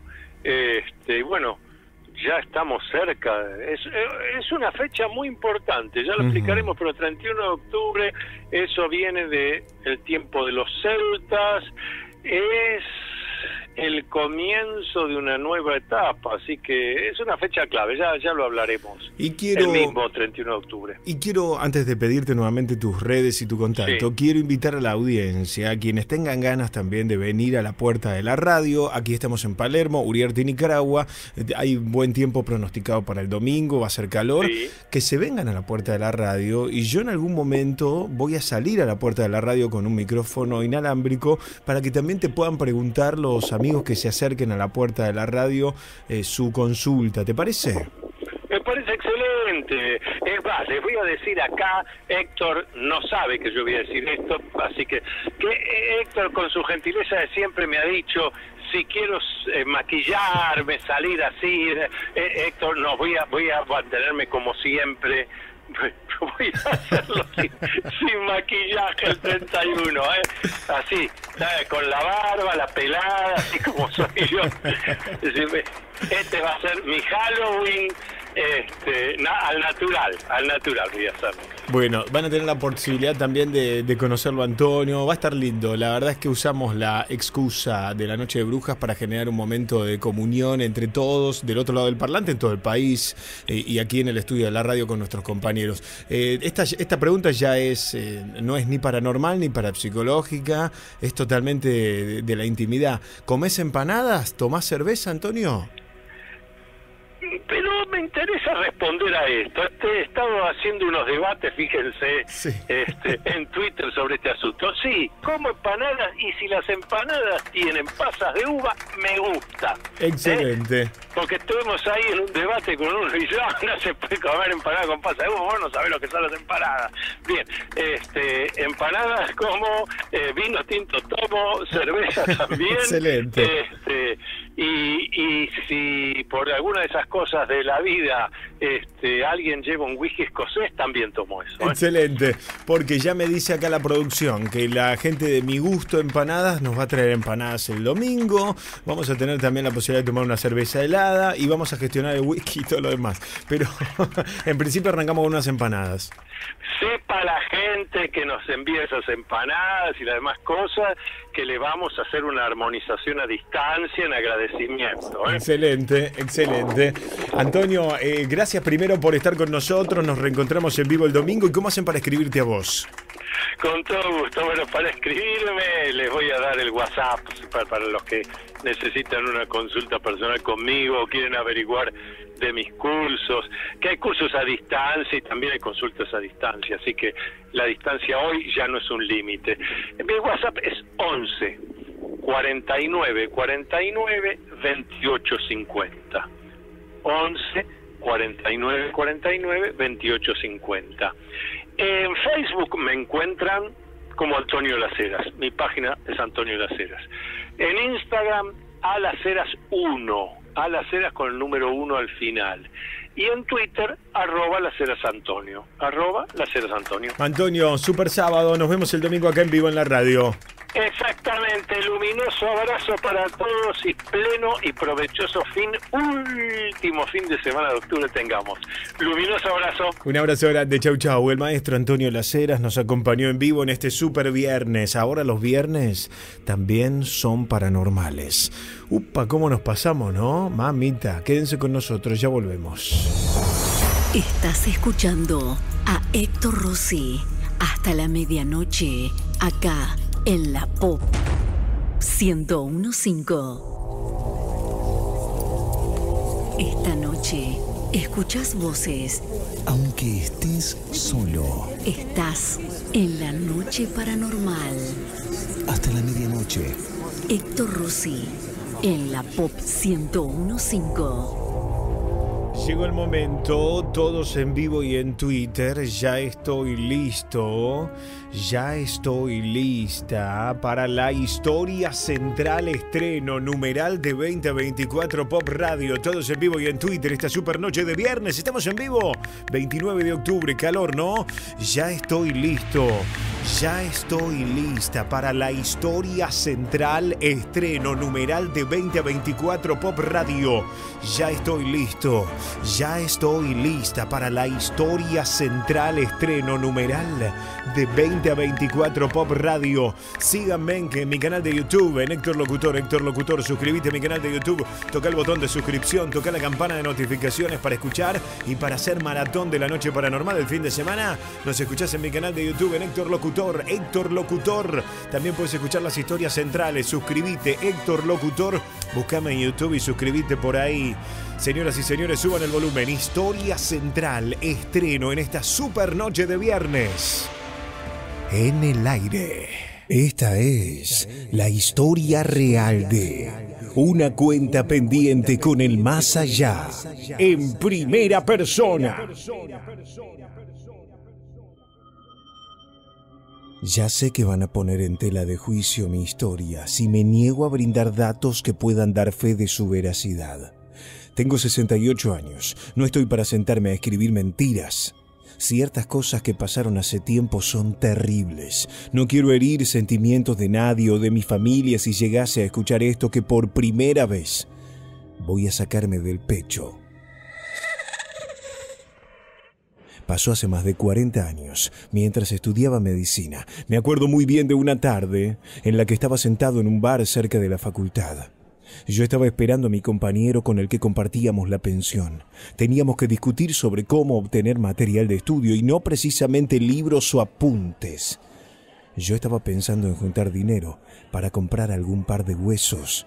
Cuando llegó mi amigo y me contó su idea, no tuve buenas palabras con él. Le dije, no, pero vos estás en pedo. Ni loco nos vamos a meter en un cementerio. Mi amigo no estaba bromeando. Le habían pasado la información de que en un cementerio los días jueves Estaba un sereno nuevo al que podíamos burlar. Yo no estaba muy dispuesto, pero me terminó convenciendo, así que fuimos. El lugar nos quedaba bastante lejos. Fuimos en bicicleta. No tenía ganas de que se me caiga un fémur y comience a rodar en el colectivo. Llegamos luego de pedalear casi una hora. Yo estaba fundido y encima me tocaba la parte más difícil. Mi amigo fue con el sereno. Le pidió entrar para anotar información y anécdotas. Mientras tanto yo fui hasta un muro lateral, lo trepé y salté al otro lado. Tenía que ir bien hasta el fondo, donde estaban los panteones más viejos. Me dolía el estómago mientras caminaba. Me iba santiguando cada paso que daba. Sabía que aquello estaba muy mal, pero la triste verdad era que no teníamos otros recursos, éramos estudiantes humildes. A medida que me acercaba a la parte del fondo iba mirando esos rostros en las fotos. Parecían mirarme con ojos inquisidores desde la tumba. Cuando llegué, le metí mano al primer panteón que vi. El candado que estaba viejo se dio al primer intento. La puerta se abrió con un chillido que sonó como el lamento de una vieja moribunda. Yo estaba muy asustado. Temblaba y respiraba agitadamente. Tomé aire, entré y puse manos a la obra. Había traído conmigo una bolsa de tela, un martillo, una linterna y un cincel. Dando ligeros golpes pude abrir un cajón sin problemas. Un señor de traje negro descansaba con las manos cruzadas. Todavía quedaban rastros de barba en el maxilar. Con cuidado, fui sacando los huesos y los metía en la bolsa. Necesitábamos fémur, cráneo y manos. Yo estaba agachado terminando la tarea, cuando de improviso un sonido penetró mis oídos. Lo recuerdo muy bien porque sentí como si me soplasen directamente en la oreja. Tres palabras que sonaron rápido y como si el que las dijese tomara aire antes de hablar. No me toques. Me levanté rápido, me choqué la cabeza contra la losa, junté todo y salí corriendo. Durante todo el trayecto hasta el muro volví a sentir aquella brisa en los oídos. Yo no recuerdo nada, pero mi amigo dijo que me encontró donde habíamos acordado. Yo estaba temblando y me golpeaba los oídos como si intentase destaparlos. De nuevo en la pensión, vaciamos el contenido de la bolsa en una mesa.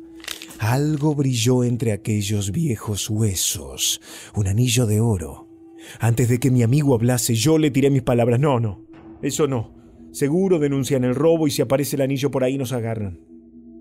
Esperamos varios meses. Todas las semanas mirábamos el periódico. Una sola vez vimos una noticia del cementerio y de un robo, pero había sido el pobre Sereno, que fue interceptado en la puerta por un par de chorros. Pasado ese lapso decidimos vender el anillo. Ya antes habíamos devuelto los huesos, tirándolos una madrugada al otro lado del muro. Con la plata nos compramos ropa, zapatillas y fuimos a diversas fiestas. La plata nos tentó. Pensamos que si había funcionado una vez, podría salir mejor más veces. Nos volvimos unos malditos profanadores de tumbas. Es increíble la cantidad de objetos valiosos que se llevan los muertos. El señor de la casa de empeños nunca se preguntaba el origen de los objetos. Él tenía sus clientes y nosotros el producto. Pero el que mal hace, mal termina. Una noche me desperté. La pensión era estilo monoambiente amplio con dos camas. Teníamos una ventana que daba a la calle. Lo que me despertó fue justamente un ruido en aquel sector. Salí de mi cama, fui hasta allí. Y encontré a mi amigo parado en pijama, chocando su cabeza levemente contra el vidrio de la ventana. Antes que yo pudiese decir algo, él se dio la vuelta. Me miraba con odio, como si le hubiese robado la esposa. Fruncía el entrecejo y apretaba los dientes. Yo estaba paralizado. Nunca lo había visto así. Antes de que tenga una mínima reacción yo, él se me abalanzó. Ambos caímos al suelo. Mi amigo era un tipo de porte pequeño, pero comenzó a estrangularme como si tuviese fuerza de más, mientras repetía una y otra vez, ladrón, ladrón, ladrón. Lo más escalofriante de todo es que mientras mi amigo estaba ahí intentando matarme, yo pude ver al otro lado de la ventana una figura oscura observándonos. Quiero aclarar que estábamos en un segundo piso.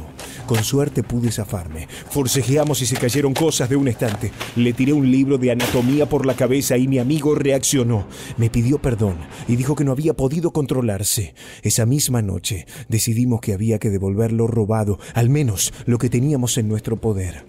La noche siguiente fuimos al cementerio. Nos dividimos para dejar de nuevo las joyas, relojes, anillos y hasta dientes de oro.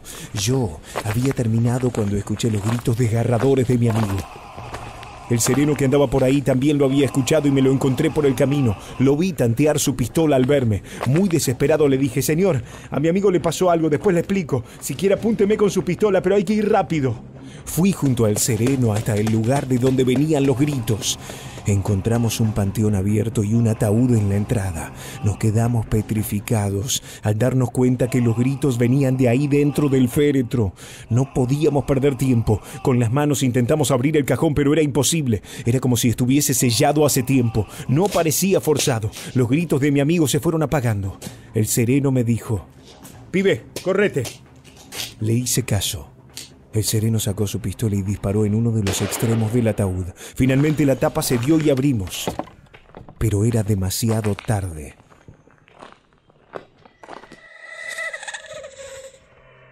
Hoy, 40 años más tarde, sigo soñando con esa noche. Mi amigo estaba con la boca abierta y una expresión de absoluto horror.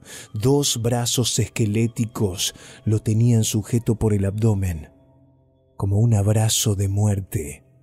Hasta el día de hoy, nadie entiende cómo pasó aquel accidente. Creen que luego de abrir el cajón se atropelló y cayó dentro. Terminó acostado de espaldas encima de un cadáver. Dicen que la causa de muerte fue un paro cardiorrespiratorio por un shock nervioso. Yo tuve que contar toda la verdad. Luego del velorio de mi amigo, hice un acuerdo con los del cementerio.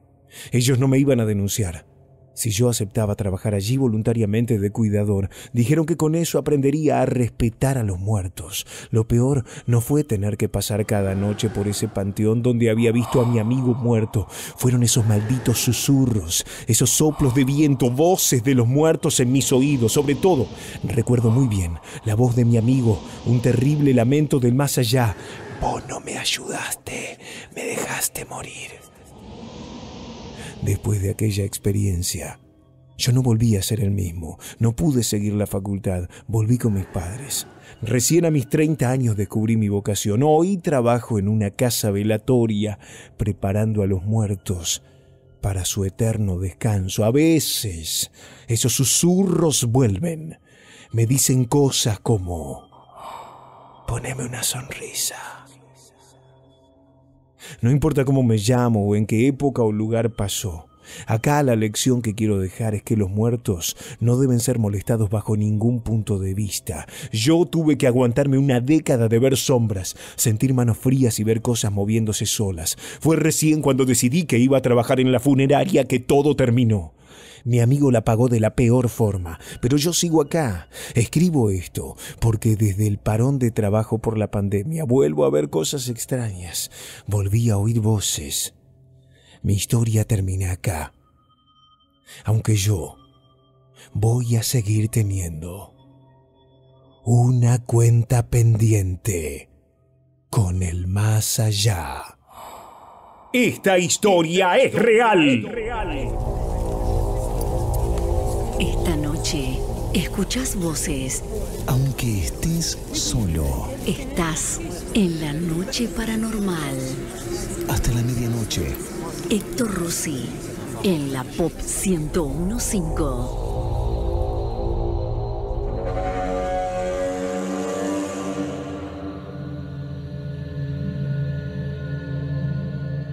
Hola Héctor, ¿qué tal? Buenas noches. Eh, te cuento un relato eh, corto, lo más breve posible. Eh, pasó hace, hace un par de meses. Esto le sucedió a, la mujer de un, amigo. ella estaba en su casa limpiando el piso, ¿no? Con un, con un lampazo, dándole la espalda a la puerta de ingreso, que ingresa directo a la sala de estar de la casa. De pronto escucha eh, que la puerta se abre. Eh, cabe aclarar que la puerta es de esas puertas que son ciegas del lado de afuera, o sea que tienes que abrirla sí o sí con llave, no tiene picaporte. Eh, entonces al ver, a escuchar que la puerta se abre, ella se gira, se da vuelta y lo ve a su marido, o sea, mi amigo, entrar a la casa y cierra la puerta. bueno, vuelve a girarse a la postura que estaba originalmente, dándole la espalda al marido. Y bueno, al pasar los segundos se percata de que, de que, de que el marido había estado todo el día fuera trabajando y que no dijo ni buenas tardes ni nada cuando llegó. Bueno, lo que pensó ella dice estará enojado por algo, ¿no? O algo le pasará, no sé. Eh, se vuelve a girar para saludarlo ella y no lo ve más. Eh, ella pensó, tan despistada seré que no lo vi entrar, no lo vi pasar para, para ningún lado de la casa. Eh, ya que para, si, si mi amigo quería entrar y pasar para, el, ya sea el baño, la cocina o alguna habitación, sí o sí tenía que pasar por al lado de ella. No había, no había forma de que no lo viera. Entonces medio como que dijo, tan despistada seré. Así que fue a las piezas, eh, a la pieza del hijo, no estaba, la pieza de ellos no estaba, en el baño tampoco. Abrió la puerta que da para el patio, miró afuera, no, tampoco estaba. Entonces medio se asustó. Eh, dijo, ¿dónde se metió? ¿Cómo puede ser? A los minutitos nomás que le sucede esto, le entra un, le, entra un mensaje al WhatsApp donde el marido, mi amigo, le mandaba un, un mensaje preguntándole si ella estaba en la casa, porque él estaba por llegar del trabajo y se había olvidado las llaves eh, justamente en la casa y no tenía cómo entrar. Eh, bueno, fue ahí cuando se asustó mucho, o sea que su marido nunca había llegado a la casa, lo que vio ella no sabe lo que vio, o sea, ella me asegura que lo vio a él, incluso me, describió la ropa que estaba con una campera negra, la que lleva todos los días al trabajo. Eh, bueno, nada, este es mi pequeño aporte. Un abrazo, eh, que anden bien. Buenísima la radio. Historias reales, contadas en primera persona. La noche paranormal. Son historias verdaderas, son historias reales. Estamos en vivo hasta las 12 de la noche. ¿Quién habla por teléfono? Hola, buenas noches. ¿Qué tal? Buenas noches, Héctor. Buenas noches, ¿cómo te llamas? Mi nombre es Ana, soy de Longchamps. Hola Ana. Bueno, primero baja la radio y escúchame por el teléfono, Ana, así no te confundís. Perfecto. Y te Ahí queremos estamos. escuchar a vos, que nos cuentes tu historia. Bueno, mi historia viene un poco acerca de lo que estaban hablando ayer, de lo que era la clarividencia. En el 2011 tengo un accidente en el mes de diciembre, lo cual en agosto ya me lo habían, eh, me lo habían dicho que me iba a pasar a través de las cartas de los arcángeles. Eh, me dictaron que veían la carta de la muerte, no en sí la muerte en sí, pero que algo iba a pasar. Eh, me salía el número 7 en todas las cartas. Eh, cuestión que me pasa el 4 de diciembre, se sumaban los números, daban 7. Un accidente muy fuerte tuve, lo cual cuando me internan, la- el número de la cama me daba, perdón, me daba todo 7. Eh, al término de eso, en el medio que iba a haber una persona que me iba a estar ayudando, eh, fue un lapso así muy fugaz de esa persona, al tiempo desapareció y bueno, eh, todo esto me doy cuenta después de un mes y pico de que me pasa esto, estaba en mi casa cocinando y de repente se me hizo como una nube y empecé a escuchar a esta mujer que me había dictado todo lo que, lo que me iba a estar pasando. O sea que a veces uno no, o sea, es como que no le da voltilla porque en el momento yo no quería escuchar o no creía. Y bueno, y sí, tal cual fue todo como, como esta mujer me, me lo había dicho. Y después con otros sucesos similares me los anticipó y tal así fueron. Dios, bueno, existe entonces, para vos lo viviste en primera persona. Totalmente, totalmente. A veces uno las deja pasar porque cuando a mí me dijeron anda que fulanita te va a ver, yo no, no, no daba importancia. Pero bueno, esta mujer me agarró y bueno, solo con, con las cartas, con los arcángeles, eh, dictó todo tal cual como, como fue. Impresionante. Gracias por compartirlo con nosotros. Che, te mando un beso grande. Y gracias, gracias por la compañía y estoy prendida todas las noches. ¿Le contaste a toda tu gente, a tus contactos, que estamos en vivo en la pop? Obviamente van en mis estados, se Excelente. comparte y lo súper disfruto. Gracias, che, un beso. Héctor, y gracias por la compañía de ustedes. Gracias.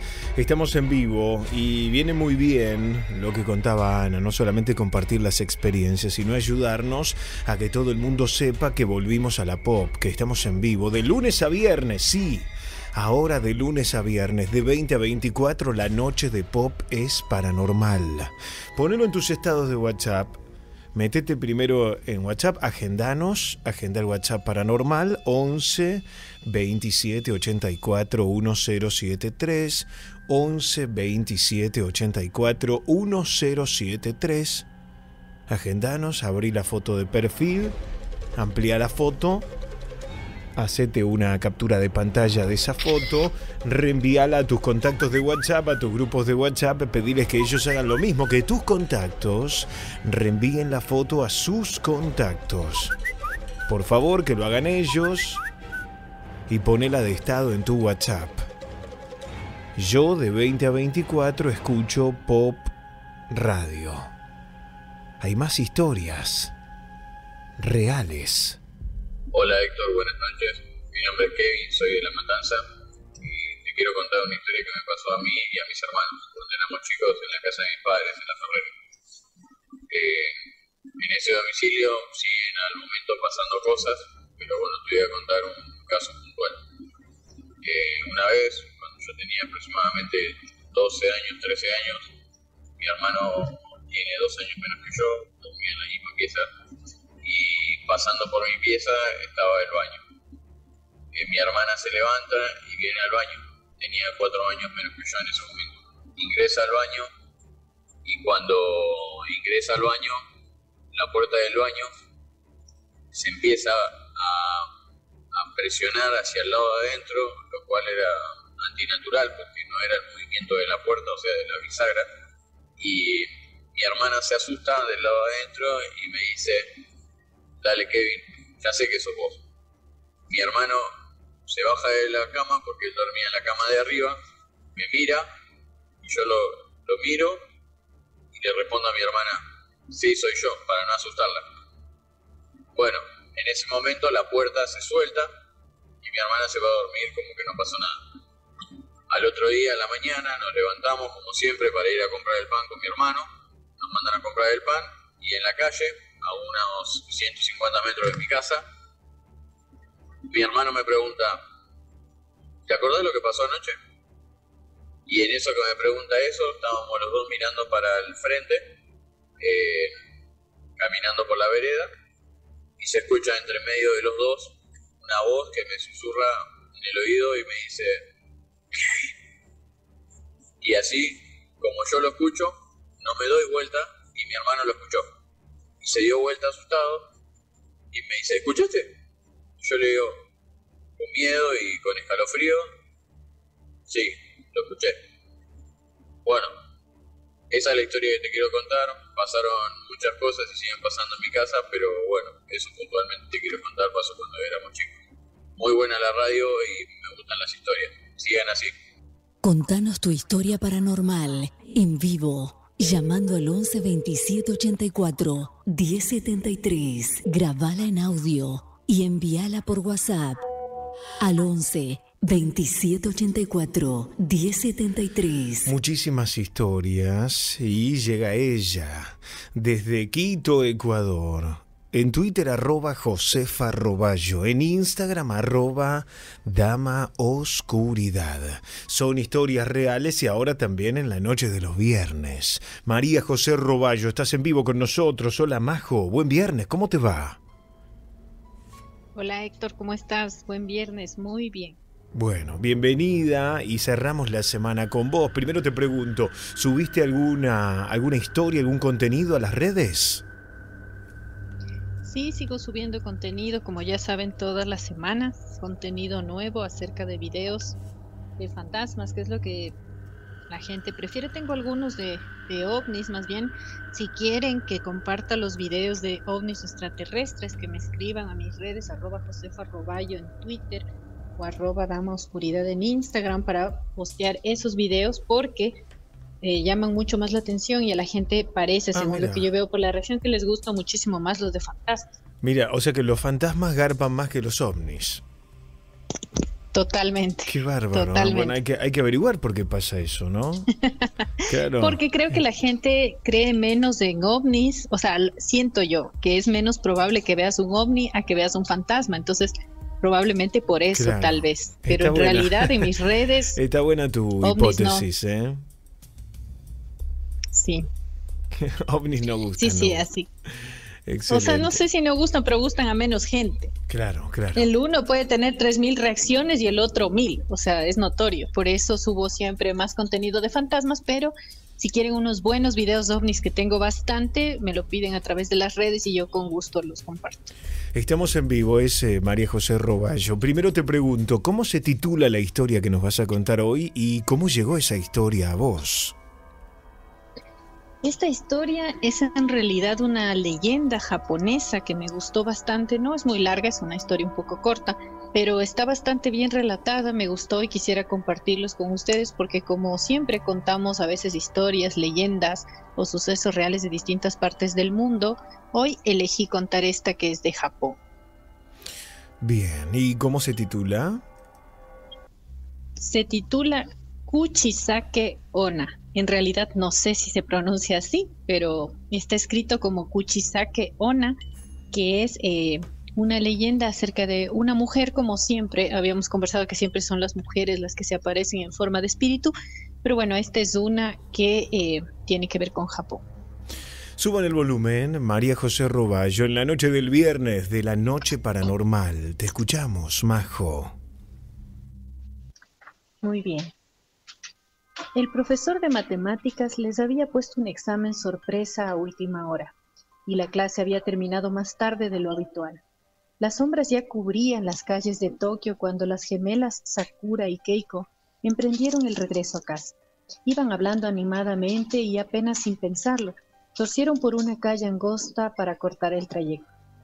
Ya habían avanzado algunos metros cuando repararon en la escasa iluminación del lugar y en que eran las únicas transeúntes. De improviso, una mujer salió entre las sombras de un portal y empezó a andar hacia ellas. La desconocida lucía una cabellera negra, un abrigo oscuro, y la mitad inferior de su rostro estaba cubierto por una mascarilla quirúrgica. Este último no inquietó a Sakura y Keiko, pues antes del coronavirus, muchos japoneses habitualmente optaban por usar mascarillas para evitar resfriados y otras enfermedades.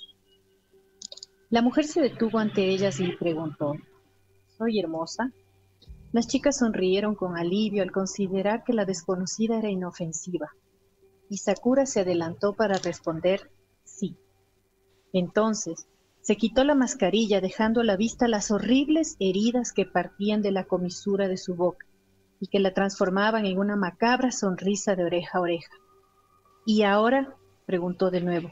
Sakura gritó horrorizada mientras Keiko permanecía inmóvil, incapaz de reaccionar.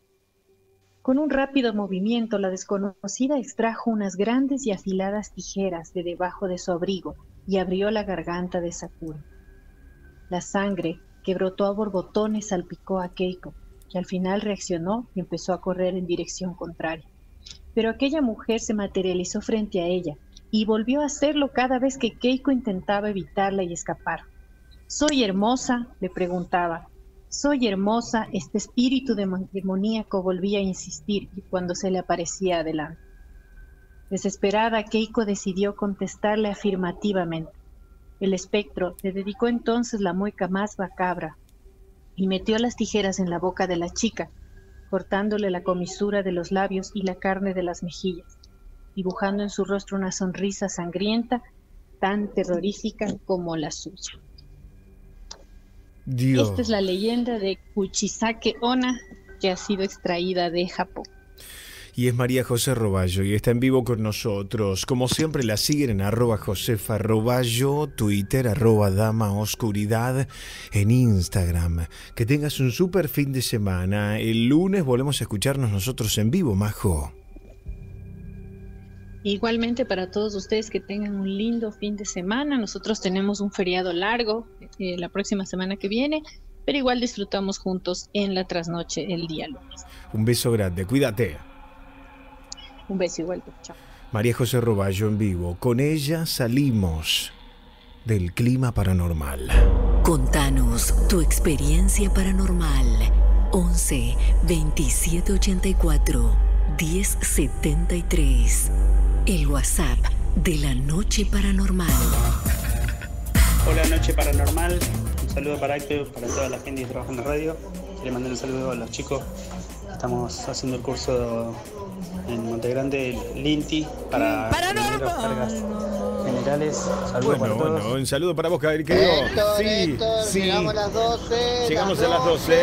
Vamos que son las 12. Vamos, loco, ¿quién llegó a las 12 de la noche en este super viernes 29 de octubre? Dale que el domingo volvemos, dale que el domingo hay noche paranormal especial de Halloween. Atención, el domingo desde las 9 de la noche, venite a Uriarte, Nicaragua. Te esperamos acá. El domingo a las 9 de la noche, ¿qué tenés que hacer? Estás al pedo, venite a la puerta de la radio Uriarte, Nicaragua, que festejamos Halloween. Yo voy a estar disfrazado también, caracterizado.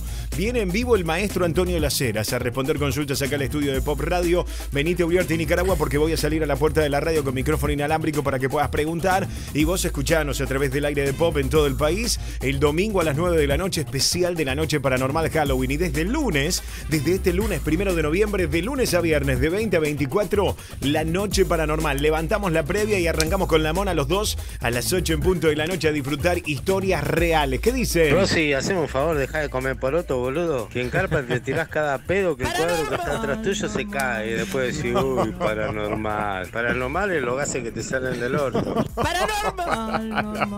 No me quedó claro qué me quisiste decir. Soy Lucas de Ciudad Evita. Sí, con hola, Lucas. Sofía, los escuchamos todas las noches. ¿Quién llegó a las 12 de la noche de este super viernes? 11 27 84 1073 11 27 84 1073. ¿Escucha bien? Quiero saber quién llegó a las 12 de la noche del viernes. Si les gustó la noche paranormal de viernes también, me pueden mandar un video al WhatsApp paranormal 11 27 84 1073. Aguante Elio Rossi, aguante Elio Rossi. Saludos, loco. Estaría bueno un especial de, de Halloween, ¿no? Eh, Sí, lo acabo de decir. Acá, Janina de Avellaneda.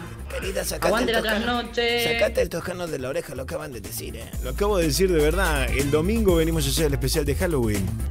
Qué ganas, eh. Ya está. ¿Por qué no le.? Está bien, está bien. ¿Qué? ¿Qué iba a decir?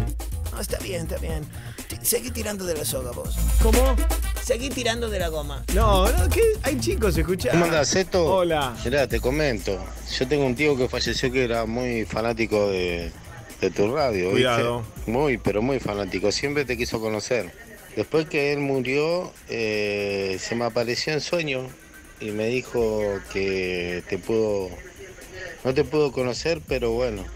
Y hizo la forma de intentar conocerte. Ese día eh, se fue allá, eh, el- me contó que el espíritu de él se fue allá donde vos, vivís y tomó cuidado, portero. cuidado. Y bueno, y era mi tío, ¿no? Bueno. Dice que fue y tocó timbre ahí a la ahí al departamento donde vos vivís con tu señora. Sí. Y bueno, y la atendió tu señora. Cuidado. Llamame, así salgo en vivo y te cuento las cosas que le hizo mi, mi tío a tu señora. Bueno. Dale un beso grande, sos un grosso. Bueno, bueno, bueno, son cómicos, loco. Che, llegamos a las 12 de la noche, gracias por todo. Volvemos el domingo. Edición especial lo del domingo, no es que voy a venir todos los domingos. No les digo palabras. El domingo es solo edición especial por Halloween.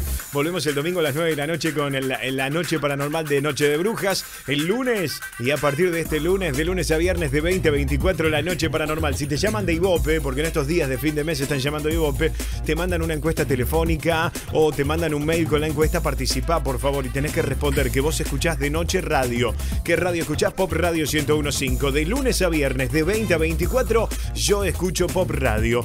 De lunes a viernes de 20 a 24, yo escucho Pop Radio. Acordate cuando te preguntan de Ibope. Y si querés también, nos ayudas muchísimo pasando la fotito. La fotito del perfil del WhatsApp Paranormal del 11 27 84 1073. Pasásela a todo el mundo. Che, eh, ¿saben ustedes que este programa y todos los programas los colgamos en mi canal de YouTube? Suscríbete a mi canal de YouTube gratis, Héctor Locutor. Metete ahora en YouTube, Héctor Locutor, suscríbete a mi canal y ahí puedes escuchar los programas este, maratoneando, por ejemplo, el fin de semana, puedes escucharnos en cualquier horario. Suscríbete a mi canal de YouTube que es Héctor Locutor, Héctor Locutor. Gracias por, por estar con nosotros. Me voy para Canal 26. Si me quieren hacer el aguante ahí en la trasnoche 26, se quedan en Pop Radio con música Ibero Merigo que ya está preparada. Chau Mauro Campagnolo, Alejo Moran en la primera parte del programa, Romina Carballo, Iván Cano, Lautaro Villamor.